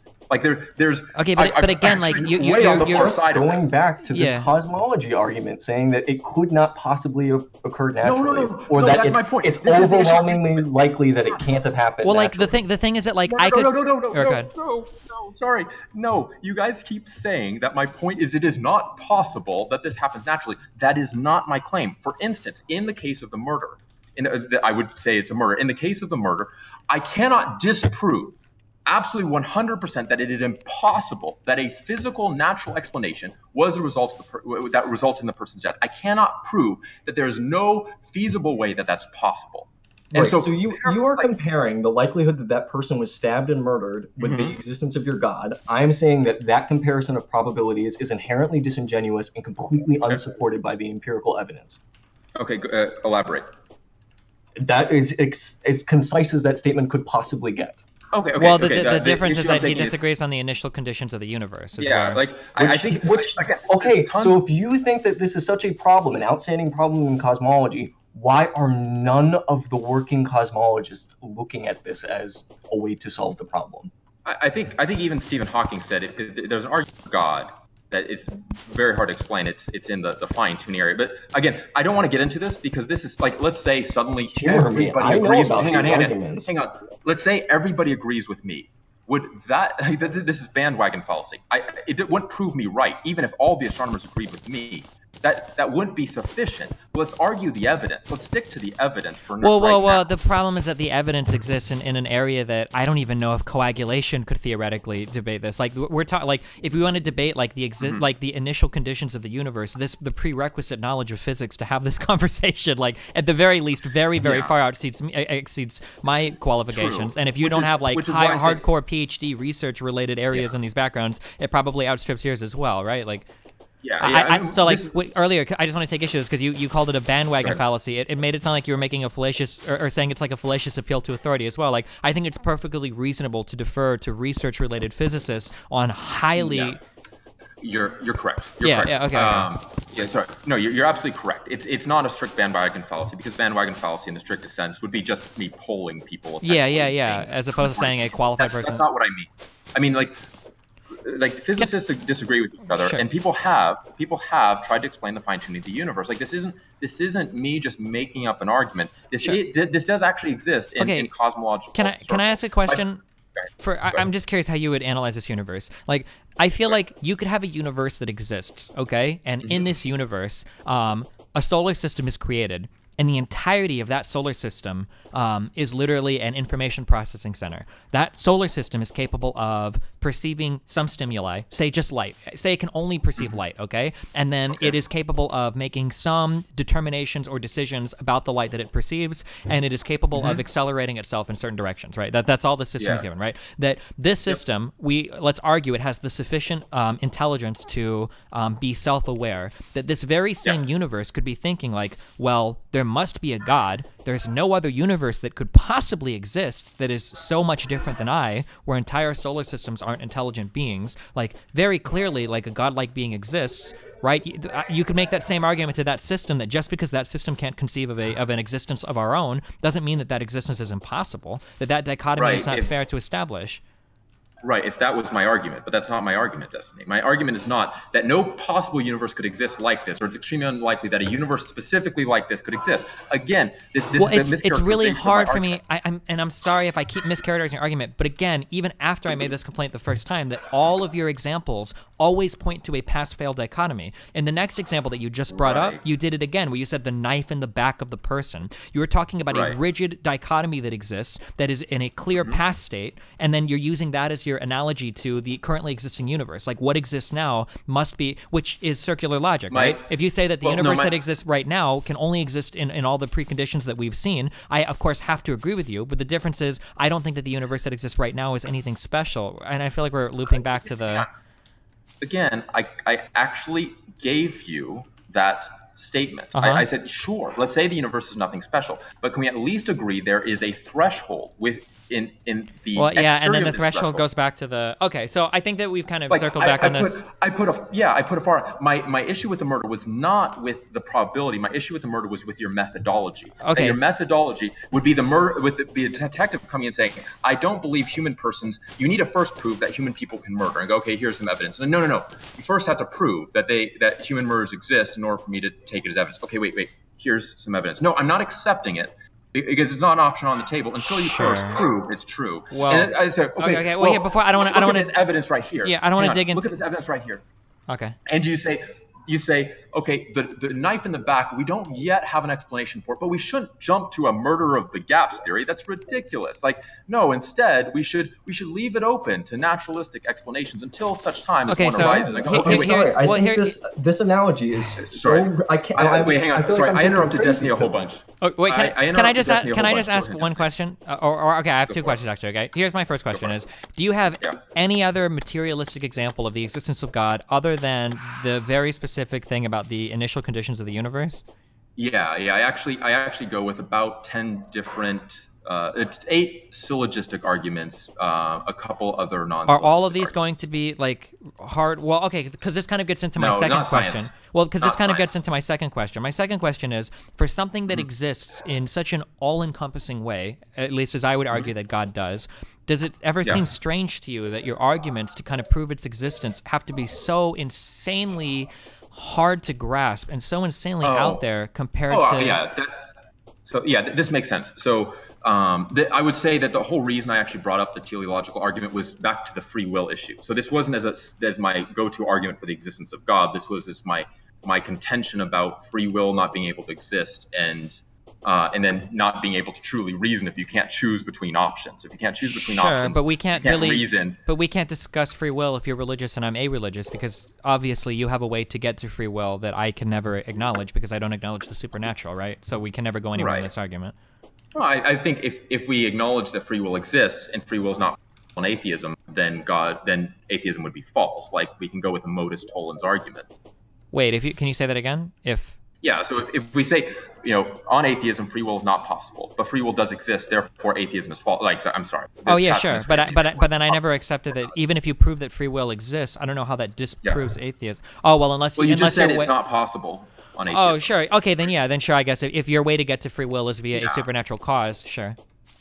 Yeah, I- so so that was why I went to the teleological argument. I think that actually, when I generally discuss this issue, I go with much more like non-scientific. Sure, okay, so then- this does get really esoteric. For yeah, for simplicity's sake, what is your least esoteric argument for the? What is your most materialistic? I am a hard-headed man of science that cannot see anything past Ah. what my devices can measure. What is your like most hardcore go-to? I'm gonna nail him to the wall on this materialistic argument for the existence of God or a higher power. Okay, uh, two, and I, I mean, I, I know you're gonna take issue with these. Let me explain it. If, if yeah, let me explain it if, if they do. Okay. One is the objectivity of moral values, which is the, the email I sent you. Is I take I believe that objective morals exist, and I think uh, that you can only have a transcendent cause for objective morality. Well, the okay. is well, it, so let's just focus on this. So morality is already something that is away from science. Science doesn't answer questions of morality. do you this is- believe morality? There is such a thing as something being good and bad. Absolutely not. No, I totally reject that.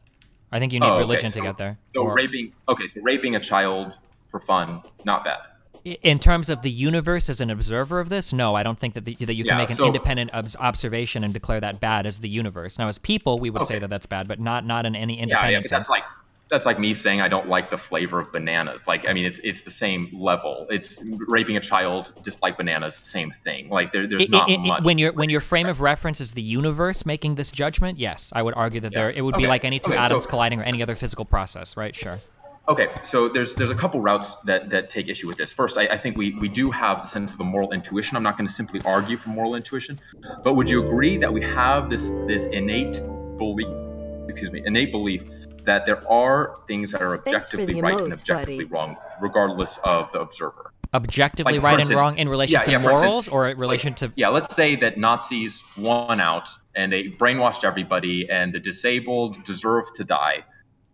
Do you believe that people would go, you know what? Even if that happened, I would still say that the Nazis are wrong. Like that, that, that still is there is still a wrongness to it. That, that exists in the natural world, independent of like human judgment. I mean, just that it's objectively wrong, independent No, of no, I would never say if- that. No.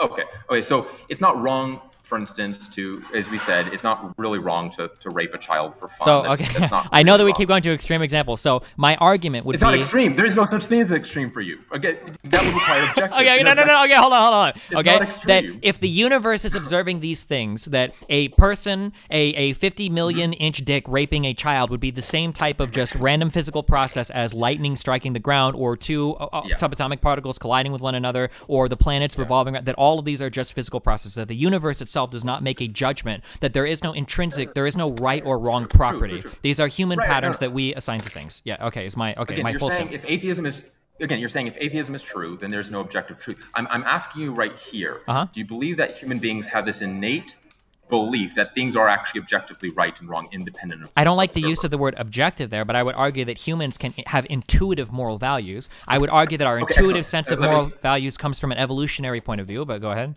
Excellent. Okay, so this is uh, called the. Uh, I mean, there's a reason many philosophers in the field of um, moral, moral, uh, this this moral debate actually go with like the actual ones publishing go with objective moral values and have to try to try to justify some way because whatever argument you're about to use against the objectivity of moral uh, observation can be used against the objectivity of sensory experience.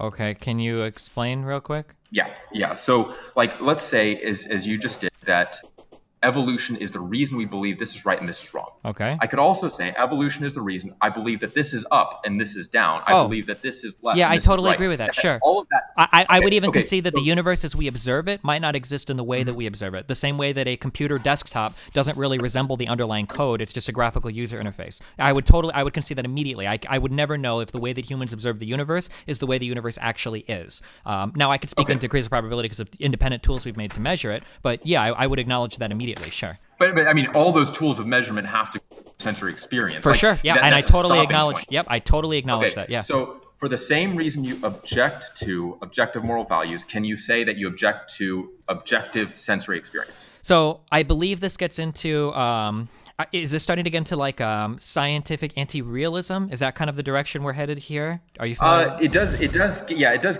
eventually get So into like these- Platonic realms. As Sure. as So these are but- these are statements that may or may not be false. I'm just generally not concerned with them. But but yeah, if somebody were to say to me that um, the entire universe, as we conceive it, is actually in, it, it, exists in such a way that we cannot even fathom because we don't have the necessary sensory organs to perceive, I could never disagree with that statement. I, I can't possibly Okay. disagree with it. Yeah, yeah. But you can rule out the existence of God. No, I've never ruled out the existence of God. Oh, okay, okay. So, so like, okay, let- let's. Okay, excellent. I, I- thought you had Because- said like, and again, to- all, all evidence points against it, but Whoa, whoa, but- whoa, hold on. Those are two different statements. I would say that. I would say that right I now there is no reason to believe in God. So, but I, but I would say there's no reason to believe in your senses. Sure. Well, I mean, I have. Whoa, whoa, whoa, whoa, whoa, whoa, whoa, Whoa. whoa, wait, because because now we're, we're now we're acting. on. Hold on, because now we're acting like this is a binary statement. So, for instance, if somebody were to come to argue to me and say that there are no reasons to believe in their senses, I would say that. I mean, I could see an argument for that, but that, but. I mean, I have more of a reason to believe in my senses than I do in, in anything else, right? So that I don't believe that's okay, a wait, wait. binary yes or no Why? Because it's what I personally because I think therefore I am because it's what I as a personal observer can interpret and experience like it's my own individual But that doesn't apply to objective. That doesn't apply to moral values. Why not? because moral values have nothing to do with my personal subjective experience Uh, what, do- what do you mean Wait, don't- didn't you just say that objective moral values exist? Because you reject objective grounds that it, it, it's the result of evolution, and, and uh, in this universe, it, it doesn't really matter. But you say that you are justified in following your sense experience, but not justified in following your moral sense experience. well Why? because the sense Why? experience is in my opinion I guess or maybe we'd have to justify this sensory organs exist just to perceive the universe not to make statements of good or evil those are in my opinion philosophical questions that we Couldn't I simply, Uh-huh. okay, couldn't I simply say that you have a moral sensory experience that perceives objective moral sense in the same way that sure you have but then i would have moral- i would have to ask you to give me some framework by which to analyze this moral thing because i can already an- analyze most of these senses as something that exists in the realm of biology which applies to a ton of other creatures and this framework is something that is very well accepted by a ton of scientists and, and i can apply it to several other creatures but now i have to ask you to give me some framework that it applies only to humans that we, like th- i feel like that is a much tougher argument for you to make than for me to make Uh, sorry, you'll need to elaborate a little bit on So, that. so if you're trying to tell me that my subjective experience can somehow be used to prove morality, right? My argument would be, Mm-hmm. well, I can analyze morality or my intuitive feelings of morality under Mm-hmm. an evolutionary framework. So, for instance, um, I will not kill my offspring because of evolutionary descriptions, right? Because of, because I have a kinship bias towards um, propagating my own um, DNA. This is an observation that I can share with other humans, that I can share with things in the animal world, that a framework exists by which I can uh, describe this uh, across a- multitude of cultures, a multitude of times, and a multitude of species. So then I would have to ask you. You're saying that this that this same kind of experience can describe some like that, that, that this actual this intuitive this intuitivism um, or intuition comes from some internal moral clock that how Yeah. why where do you get that from? How do you describe? How do you say that? I, I mean, so I mean, the simple argument would be um, from the, the syllogism I provided earlier. If objective moral values exist and atheism is false, you have to have transcendent. So Wait, I- I so would does this all go back to the teleological the, about doubting the No, no, initial no, no, no, conditions of the no, universe, no, or? No, this is completely separate. You simply, if if naturalism, if uh, atheism is true, then objective morality does not exist. If objective morality does exist, then atheism is false. Like Sure. so. okay, I wait, but I'm asking you. how, so, can you restate this for me then? How do you get an objective Yeah. morality? How, what is your argument for the existence of, an, objective Okay. morality? Okay, I, I think that you, you run into a lot of a lot of problems if you reject the the issue of moral uh, sensory experience, but accept physical sensory experience. Like every again, every argument you are you are will have and are going to argue against moral sensory experience can be used with equal efficacy against uh, physical sensory experience. Okay, hold on. So Let's say that I you- and- and- just just in, in this in this specific point. Let's say that I have a, a forest, okay, and in this Mm-hmm. forest I have trees that fall over and crash into one another, and rocks that tumble down. Can you give me moral statements about what's going on in this forest? Uh, I probably not. I'm, I'm not sure what you're saying. So let's say that a tree falls over in a forest and lands in another tree. Can you make a Yeah, moral yeah. statement about that? I, I don't think there's. I don't think it's moral or immoral. I think that would be amoral. Okay, so then why can't I take that same thing and apply it to human statements? That there is no oh, objective oh, oh moral. yeah, I understand. Yeah, you you know you can. The issue I'm I'm having is is the arbitrary cho- choosing of I want to trust physical senses and say they are objective, but I don't want to trust moral senses and say they are objective. Well, because But- physical senses oh, are, are because hold- these are two on. totally different things. So physical senses are are ways that we believe is our way of of analyzing the physical world, the materialistic world. Yeah. A And our moral moral sense is the way we analyze the moral world. but I, but this is this moral sense. We don't even know if this really exists. We have like Can an. I, intu- can I just chime in Again, real again. here? Sorry, I- w- one. Yeah, go ahead. Sorry, I've talked a lot. Go ahead. Okay, so this idea about you're you're choosing to take your physical senses seriously is an arbitrary thing. Is that a fair characterization of what you're saying? Yes. Okay, this th- this is not fair, right? For me Okay. to say that like it's so in philosophy we would, we would call something like this a properly basic belief. Yes. I have no other choice but to accept my sensory experience as real, right? Now whether or not scientific realism or anti-realism is the true and correct position, you know, whether or not my scientific models are actually describing the really true trademark world, or it's just a set of useful predictive models WTF, I believe doesn't in God really now, matter. Angel They Thump. work. They're falsifiable. They provide me with predictions. Right. It's the same thing with saying, can you prove that you're not a brain in a vat? Can you prove that hard sol- solipsism is wrong? No, No, but actually, you're not no, going to this is- accept that as a real possibility. I mean, you don't No, I- live your life. True. Uh, th- th- this is my point. Is is I, I actually agree with you there. I actually agree on that point. The issues you've introduced a defeater. So so those who are listening, the proper basicality issue that you brought up is actually at the core of this. Is is you can have properly basic beliefs that have no grounding outside of themselves. We we accept them at at, at a fundamental level in order to build off of it. Now, my my point is, I, I absolutely agree that that our physical sensory experience is properly basic. But I would also say if you introduce a defeater to to the moral sensory experience, you introduce the same defeater to the physical sensory experience. And my point is I can accept both and say that I'm not going to arbitrarily reject one and not the other. I'm not a solipsist. I'm, I don't believe that I'm the only physically existent being in the world or conscious being in the world. I'm not solipsist. I'm gonna I'm gonna actually accept both without an arbitrary designation between the two. Well, but I feel like th- that you're equating these two in a way that's not fair. So, for instance, if every single human were to die right now, in your world, Yeah. it sounds like this moral this moral existence would vanish and the physical one would carry on. Well, I'm not an atheist, so I don't I don't believe that the, the physical world is all there is. Or the or the moral world would carry on, but just nobody would ever interact with it at all. I guess if if all humans were to be deleted from the planet, or like let's look at Mars, right? You would argue that there is no morality on Mars; it's just the the physicality or whatever, right? and this gets a little more complicated. But uh, just as, as an objection, it gets more complicated in how I would address it. The, the issue is I don't think there's a physical moral universe imposed over a physical physical universe, and that if one disappears, the other just kind of floats. Yeah, I, don't- guess don't- like the problem is that like I can describe, like I can extrapolate your entire Yeah. moral universe or whatever from my physical Yeah. one very easily. I can insanely easily extrapolate your entire moral universe from my physical one, but you can't give me any evidence or any example of the existence of said moral universe whatsoever at all. Again- like you're, you're, it's again, almost unfalsifiable. Like my, my point was the proper basicality. You agree that we have moral moral intuitions. Now you said these are the results. And I would yeah, but the, but these moral intuitions, but these results. but these yeah. moral intuitions arise from physical processes. I, I'm not saying I don't I don't agree that Wait, these are yeah, separate. But our physical, our physical senses arise from physical processes too, and so then we could simply say they are no longer objective either. They're completely subjective. Your perspective is absolutely subjective. There is no objective view of the universe. Sure, but So- then like we so- work in okay, degrees of probability where I can I can uh, I can talk to every other human being on the planet and we can come to some mutual understandings about our Well, physical not really. If you start if you start undercutting the objectivity of sensory experience, your observations of your interactions with other people are no longer well founded either. Like you, you you lose the ground on which you stand to make the objection as soon as you do that. Wait, wait, wait, wait. So let's say that I get a million people together and we all look at something and we can Yeah. all agree that it's, it's a certain um that that some that Oh, one object is yeah. taller than another object. How how is this not giving a little bit more credence to the idea that my sensory perception is somewhat valid for the physical world? How do you know that a million people agree with you?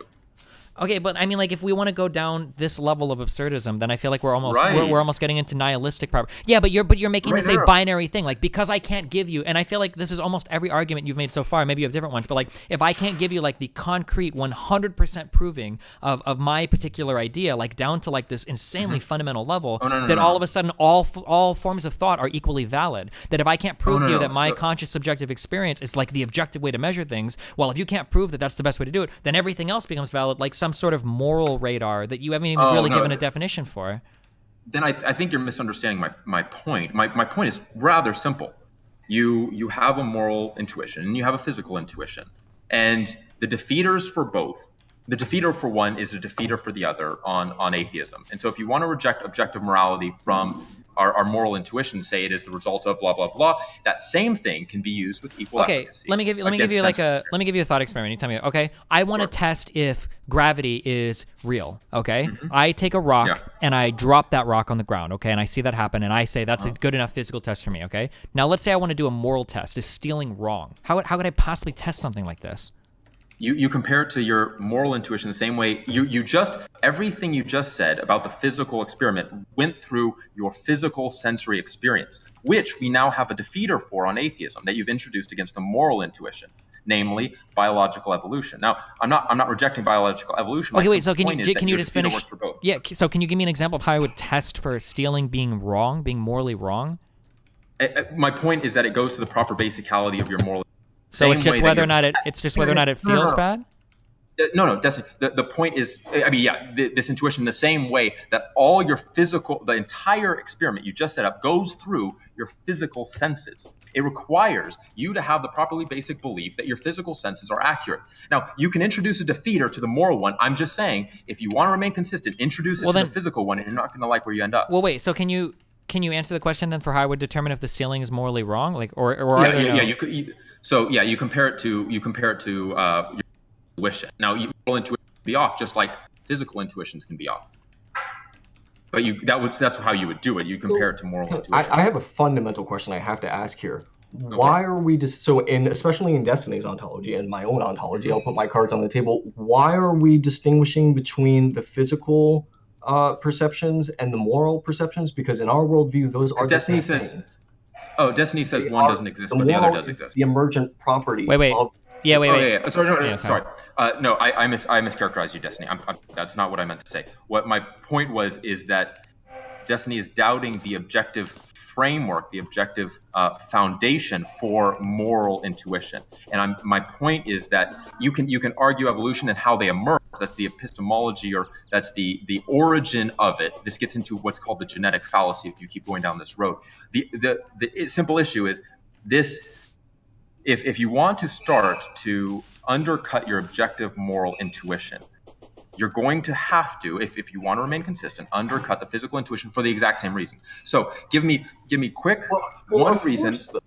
This is such a straw man that if you if you are intellectually honest and admit I cannot tell you that my physical perceptions of the world are absolutely 100% true, then I can make no meaningful statements about the external quote objective world. This is just wrong, right? This is a stupid yeah, that's way not of what I thinking, said. and I will say, Yeah, but, that's it what is I what it implies, and it. So every time I basically Okay, don't go with something- implications. You need if you're if you're going to accuse me of saying something, actually actually essentially diagram. You are saying you are saying that admitting to the fact that we cannot say that the physical perceptions that we have are absolutely 100% real, that it is a defeater of that position. That that's just it's technically true in a very narrow philosophical sense. No one lives their life this way. Okay, okay, yeah, no, I, I agree. I actually agree, and I actually would say that nobody lives our lives without the belief in objective morality. Like you simply, like even the nihilists like Sartre and uh, um, Nietzsche actually don't didn't live the way their existentialist philosophy. Whoa, whoa, whoa, whoa, what it- what do you mean by that? You can still live a moral life without believing in objective morality. You don't believe that there's morality. What do you mean you can live a moral? Whoa! I didn't say I didn't believe there is morality. I think that morality exists as as something that we've defined it to exist, the same way that Okay, um, right, the same. right. So Hitler is just as moral. So that they they both thought they were living a Well, this would be the medical. Med, I think I, I think this would be the meta-ethical position of moral relativism, right? Where yeah, I would argue that Hitler Yeah. was very moral under his own system. Sure, I'm very moral under my Yeah. own system. You, I'm assuming that you eat meat. You're very moral under that system, and some people would condemn you as a mass murderer under that system, right? Other Sure. people who so a woman that's gotten two abortions would be seen as a child murderer under a religious some religious people's moral systems, whereas for other people it's not a big deal. Yeah, um, but but but yeah, I, I take a huge issue with saying that just because I don't believe in objective morality exists doesn't mean that I can't say that anything exists, right? Um, like for instance, I can say that like the video game StarCraft exists as like a game, even if it's not like a nat- like a 100% physical or like tag or hide and seek. These things might not exist in the natural world, but as human concepts, they exist for sure. Godwind. Okay, but again, the, the issue is the way in which you discover these things funnels through that properly basic moral intuition and sensory intuition. Sure. Those, those two pi- pillars are how you perceive much of the universe. Now, what you are saying is that you can have one and not the other. You can have a sensory intuition about objective universe that actually is an objective universe, and you feel it's objective, that your sensory experience is objective, and you go that route. You can have a sensory intuition about the moral universe that actually morally objectively exists, but that is false. Why? Simply because you apply the evolutionary explanation to one and not to the other. My point is, if you want to have an objective experience based on intuition, and you say that there is an objective reality, I guess I, ju- I just this all, I reject this idea that there has to like I can extract I can get this morality um, intuition like it, it feels arbitrary to say it. Like for instance, like somebody could come here and make this argument that okay, well there is like the video game intuition, and this intuition mm-hmm. allows you to tell whether or not a video game is fun or not just based on your intuition, and you cannot Yeah. possibly falsify this intuition existing because any any way that you Yeah, I- falsify I- it can be used to falsify your own subjective physical experiences. Like I well I would argue well no sure. that that type of intuition I don't have that intuition. I don't have that intuition. So, Okay, like- but then, but like, why? Why? you can- Okay, here, can you answer this? Why is your morality intuition any more good than any other random intuition that I could invent that could also be extrapolated you, from my you did agree. You did agree that there was this moral intuition. Okay, but but we're using but you- you're using your definition and I'm using my definition. You're pretending that I've come to your definition. When I when I argue of, of moral intuition, I'm literally saying that we intuitively, and when I say intuitive, I mean that we have like an inner uh, materialistic drive to act in certain ways that are probably advantageous for the survival of our genetic material. That that type of moral intuition exists. But but that moral part is very socially and culturally defined. Yeah. That it doesn't exist in any kind of in. But but I wouldn't say that that moral intuition is at all equivalent to our physical analysis of the world. So when, when you say that I've agreed that your moral that moral intuition exists, I don't agree that moral intuition exists in the way that you're saying moral intuition exists. so then no, back no, to well then so then that, that standpoint. Okay, so back to my I'm original question I- then. Why is your moral intuition any more valid than any other millions of intuitions that I could Oh, invent? That's that's not part of my argument. That's again, this isn't that that's not necessary for the argument to exist. My simple point is, are there uh, Uh, things that are objectively right and objectively wrong? Like simple simple fact, objectively right. Sure. So why would you say there are uh, or are not? Why would you say there are things that are objectively wrong? What what is your argument Okay. for that? Okay, for the again, for the same reason, we have a we have an intuition that our physical sensory experience experience an objective world that that exists apart from our sensory experience, objectively apart from this this individual subject. In the same way, I would say we have a moral intuition that an objective reality about morality exists. And I'm, my my the crux of my point has been you cannot apply an argument to one to to dismantle it and say subjective morality exists supersedes the the issue of intuition and not apply that to sensory experience. Okay, but I feel Because- like we're using totally different standards of evidence and falsifiability here. Like with my earlier examples, if I want to compare the weight of two things, I can have multiple people hold things in my hand. We can do like a ton Mm-hmm. Wait, of wait, different. but it goes through what? It goes through what? Sensory experience. yeah, I mean, I understand what you're saying. I just think that this argument is insanely disingenuous. Like, it, it feels almost like goofy. Like you're trying to say that because I can't 100% prove that my physical sensory experience is real, No, no, now no, I have to Guys- accept, or because you- I can't use an argument you- against it, I have to accept that all sorts of other insane intuitions can use- exist.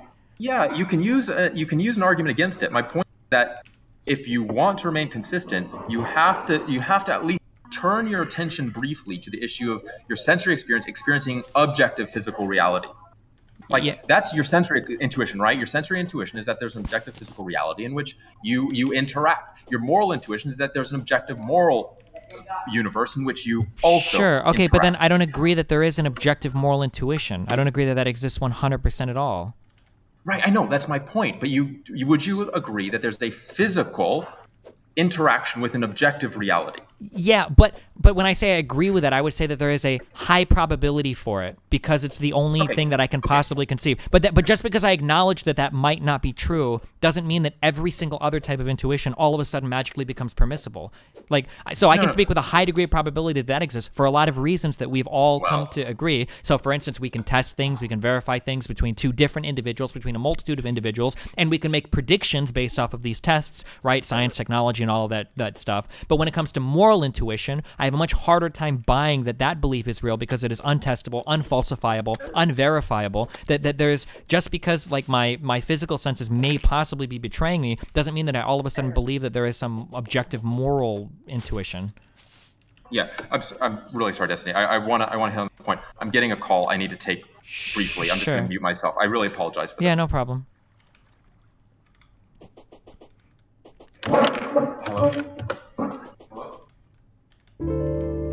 Ah. Okay, I'll come. Yeah. All right. All right.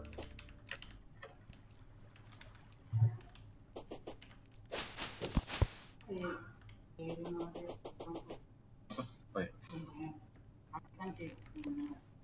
All right, Destiny. I'm sorry. I do. I do have to head out. Yeah, Um, that's I really fine. appreciate the discussion. Uh, thank you for for trusting that I wasn't a troll. Yeah, no Um, problem. Uh, maybe we can talk again in the future if I can hammer these points Yeah. out better, or if you can hammer them out better, whatever. Right? Yeah, I, Okay. yeah. I'd like to like to elaborate on my position because I'm not the most articulate person. I get confusing at times, so I appreciate Sure. you trying to understand me. So, All right. thanks, guys. I appreciate it. Yeah. Have a good one, buddy. Talk to you later. Ah, fuck. I feel like it hasn't changed from since when I was like 18.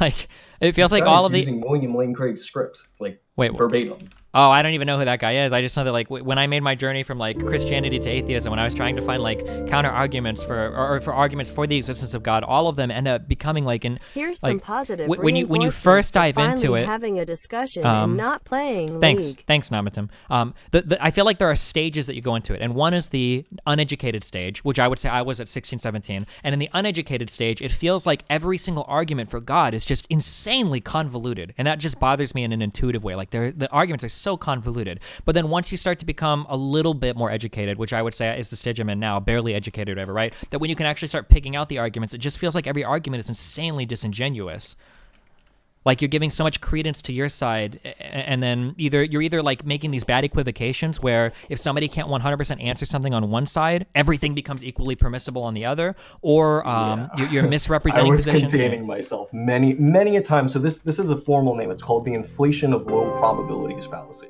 Mhm. And he would do this routinely. That if you would be, 500 if you coagulations, or I Nathan, were intellectually honest and said we could not prove, uh, you know, to, uh, you know, mathematical rigor of certainty Yeah. that X or Y was the case. Ah, well then you've granted me m- my side of the argument. And you Yeah. can't contest it. which it, which it feels like um th- and this people actually use this argument for a plethora of issues in real life but like just focusing on the religion thing like if we go back to his thing about the knife in the back like i mean that technically could happen right? It is possible that like an airplane you know somehow ejects a knife and it lands in a person's back. Like it's incredibly unlikely but it could happen. But just because we say that like that's not possible doesn't necessarily mean like oh well since you've granted that you know this must have been naturally determined. Now every single thing in my argument all of a sudden becomes Now equally permissible. i feel like um friend. i feel like that analyzing things in, in a binary fashion is really cancerous because it misses like the entire point of all the arguments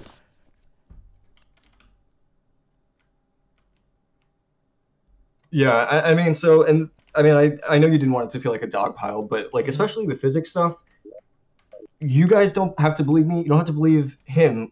Go read the cosmology literature, right? This stuff is an open question that people are actively working on. You do not get to go full God of the gaps and say, aha, we don't have an explanation for this. Therefore, the most probable explanation is my God. Again, not only is that God of the gaps ignorance fallacy, yeah it's also it's also not even fair. It's it's literally unfair because you're saying I'm going to posit something that I haven't even demonstrated exists Mhm. as a cause but all of your models are just conjecture. And, Sure. you know, The reason why um the reason why I, I'll never grant that much to a religious person, and I know it's tempting to because you can always say, okay, say I grant you all of this, then prove your God is the right one, or prove that God actually explains this, is because that argument is monumentally easier than proving that there needs to be a God at all, right? I think that's the really difficult argument. Like, prove to me why a higher power needs to exist for this universe to function. But if you grant that a higher power exists, proving their particular flavor becomes much easier, I think. And I don't think it's fair to start uh, on that low of a footing in that in that discussion. Yeah. So, anyways, I'll use this as a teaching moment for everyone. so, just in case everyone like didn't know what he was talking about, so what he was routinely invoking is what's uh, been deemed something called the past hypothesis in modern co- uh, cosmology, and it's this idea, right, that the second law of thermodynamics, you might remember it from high school, it's that the entropy of a closed system always glo- goes up. That's not quite true, right? That's that's true for irreversible macroscopic systems, but the reason that that law seems to hold on macros on the macroscopic scale is that the entropy of yesterday was lower than it is today. And the entropy of that before that day was lower and lower and lower and lower all the way back to the big bang. And for our models the entropy of the initial state of the universe is just way way lower than it had to be to get the structure that we see in the universe today so there's this uh, so-called fine-tuning problem. One of the fine-tuning problems. There are also other fine-tuning problems. Um, that's one of them. He's basically saying that God is the explanation for this. Uh, no, not really. There are plenty of other cosmological models. You can look all the way back to um, Srednicki has done work on this. If you guys want to look up names, Srednicki, uh, Carroll has, I think, with his graduate student Jennifer Chen, did some work on this. Uh, Hawking has done work on this with his Hawking Hartle state. Him and Jim Hartle have worked on this problem. So this is an open problem that people are proposing solutions to in limited form. Uh, it's it's just not fair to say that we have no idea what's going on here, therefore God, right? This, that's just not how science works. Uh, yeah. Yeah, I mean, I Another uh, another thing that he was bringing up was the idea of Boltzmann brains. Again, I don't really know why he was bringing up the Boltzmann brains. It's this idea that, uh, given certain assumptions, right, you are more likely to just be a random fluctuation somewhere in space that kind of pops into existence and then pops out of existence just as quickly as you came with all your thoughts and memories and everything. You know, just a brain spontaneously forming uh, in space. Uh, this is actually a true consequence of certain cosmological models that we have again, this is an open question that can be solved based on what cosmology you pick, right? So depending on what you think the dimensionality of Hilbert space is, for instance, or whether or not you believe uh, the Wheeler-DeWitt equation, something like that is true, uh, tells you whether or not you'll get these uh, Boltzmann brains. So again, not really. It's oh, again open problem in physics. People are working on it. Don't let theists tell you that God is the answer, right? This this is never this has never been the case in the history of science. Let science do its job. Read the papers of people doing work in these fields. I really hate it when people take physics and twist it into their religious apologetics. It's incredibly annoying, and that's why I was a little heated, as as people have pointed out in this discussion, because it's incredibly frustrating when people do this.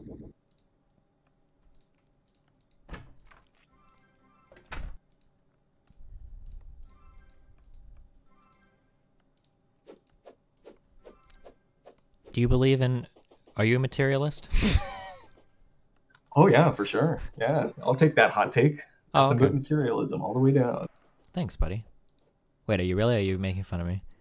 Yeah, no, I mean I'm a scientist, right? Oh, Whether okay. or not I think it's Well, know, be careful with that because I'm pretty sure I can literally find like neurosurgeons that believe, well, Ben Carson that believe in God and shit. So, Oh well, yeah. Okay, fair enough. I'm an intellectually honest scientist. There we go. Wow. Hot take. Uh, yeah, sure. I think you know. I think the best model that we have of the world is uh, materialism, right? If you want to posit that there's something other than material, please demonstrate that in some way that I can routinely test, independently verify, and falsify. I will be happy. the falsifiability is a big one too. Like, um, it was pretty. It's pretty frustrating when somebody makes the assumption that like um you wouldn't believe in a in a divine figure. Like, I would argue that I believe that most, if not all people, well, I wouldn't say all, but most people, atheists especially, would believe in a godlike figure provided some sort of materialistic rigor for one. But obviously, that's never been demonstrated. So. Or at least to my knowledge, it's never been demonstrated. I'm sorry, you, you cut out for me. It was just silence until that last sentence. What? Oh, sorry. Um, it's frustrating when some people assume that like um that, that you're making like a declarative statement on the existence of God that you're saying for sure that God does not exist, and it's like, well, no, I think that most reasonable people, atheists included, remain agnostic towards that that position, right? That maybe God does exist or doesn't. Right. But like, yeah. there's just no materialistic evidence for it. Like, So that was another particularly annoying thing that he continued to do, which was he established that we were both operating on basically a Bayesian format, right? We, we're not saying that we ever put zero or one as our credences, right? Mhm. We're not saying that it's impossible or it's definitely the case. It's always degrees of belief, Mhm. conditional probabilities. Um, and then sometimes when we would give things up, he'd be like, ah, well, you're granting that, you know, you think that you, you uh, I think one of the things was he was saying that, you know, you can never, I can never prove God to you because you'll never take it, you know, you're ruling it out out of principle. No, I'm not ruling it out of principle. I'm just saying I would need more evidence, right? Mhm. If Extraordinary StarCraft claims exists, then why can my senses not perceive it on this stream? Give me some evidence to start shifting my priors in your direction. Which of course never happens, right? yeah, never. We have well, the knife and it's in the always person's back with the blood trail leading to the car that leads to the guy's house, right? We have all of that. He has arguments. yeah, and like really great. We need convoluted. more than that. really esoteric, really convoluted arguments at that, which always bothers me as well. One of the one of the things that I was really hoping that he was finally going to answer you on was how does he get objective morality, right? Well, if I you was waiting for that. Well, th- this is why I don't like to grant because I think that if you've granted that the universe must have been created, I think you've lost the argument. Because when you're playing under that paradigm, I mean, I could probably formulate the arguments for like, well, if we acknowledge that the universe must have existed, here's my bullshit rationale for why the Christian God is real, and then once I've established that, my moral system just follows, you know, circularly. Yeah, right? I have the? Bible It's- to grant. Yeah. It's always easy to come up with ex post facto justifications. Well, of course, God would have done it this way, and here's why. I'm going to tell you. Right? Yeah, And exactly. ev- everyone can do this ad infinitum. Uh, yeah, So- of course. Yeah, because you've already. Yeah, you, I, that's why I don't. I never grant. I used to. That was like a mistake I made when I was younger. I used to grant the initial like, okay, fine, because yeah, being a an arrogant sixteen year old or eighteen, all right, okay, fine. Let's say that the universe, you know, is fucking uh made by someone else. Like, prove that it's your god or whatever. And it's like, oh shit, dude, you get lost down that rabbit hole real fucking fast, unless you're like literally like a fucking like PhD theist. Like, nah, that shit is way too. Well, because I could tell he was uh, an acolyte of William Lane Craig, I, I have a good feeling of what his answer would have been. Right? He was going to go with the divine command theory answer, uh, which is Sure, which is divine God- command. Yeah. Right, and you and you know about the Euthyphro dilemma, so I was hoping that he would bring that up and you would throw that in his face. Wait, what is the I- Euthyphro dilemma? So the Euthyphro dilemma says if you're going to invoke divine command theory, is something good because God commands it to be good? Or is it good in, of, in and of itself, in which case we can just skip God and go right to the thing that's good, right? Okay, I'm familiar with this. I just haven't heard the um. I didn't know that that was a name for it. Gotcha. Right. And so then what the theist's response to this will be is, well, that's a false dilemma, right? There's actually three prongs, and it turns out that God, in his infinite cleverness, right, Mhm. he is his by his very nature, he is goodness, right? This is total sophistry, right? It's a complete reframing of the dilemma to a completely degenerate case because the question then immediately shifts from uh, does God decide what is good or bad to did God have any control over his own nature? In which case, if you answer yes, well, then he could have chosen to have a different nature. And if you answer no, morality is, um, again, independent of God. So, you know, morality in this case is either independent of God or arbitrary. They can't have both. Sure, that was some, that's something that bothers me with a lot of theists as well, and he they they always find ways to escape it. But like, um, it irritates me that one of the earliest ways that I figure that you can refute a lot of religious arguments is that um, the way that religious people win a lot of arguments is that they grant God a lot of very special properties that I'm not allowed to grant the universe. Um, like I, he used one that I wasn't familiar with, which is that God just isn't whatever I want him to be. I don't even know. But like most people will say something along the lines like, well, like um, the universe was created by God, and then they'll say like, and, and then I'll say, okay, well, you know, who created God? And like, well, God is infinite. And then I'll ask, okay, well, why can't the universe be infinite? And then you know, we kind of it, it gets at, at um reductio or whatever, Yeah, regressive, like you well, guys yeah. I mean, so- but then he was basically he found a way to like redefine God so that God. I think initially he said he, God wasn't a complex being. Um, so he doesn't need to be created. Yeah. so they're they're going to argue some branch of the ontological argument. They're going to say that God is a necessary being. Never mind that they've literally presupposed that their being is necessary. And okay, Mhm. great, give me your 50-step modal logic syllogism that proves this conclusion. I'm not impressed. Again, I know he was doing the William Lane Craig stuff. He said he had a bunch of syllogisms that would prove this. I would have loved for him to bring up the Kalam cosmological argument because I could write a dissertation on the Kalam. So, uh, yeah, I mean, definitely talk with him again. If you want me to come in, I'll come in. But I, I couldn't stand back while he was talking about all the physics stuff, and it was triggering me. Sure. All right. Well, hey, I'll talk to you later. Be careful. Stay safe.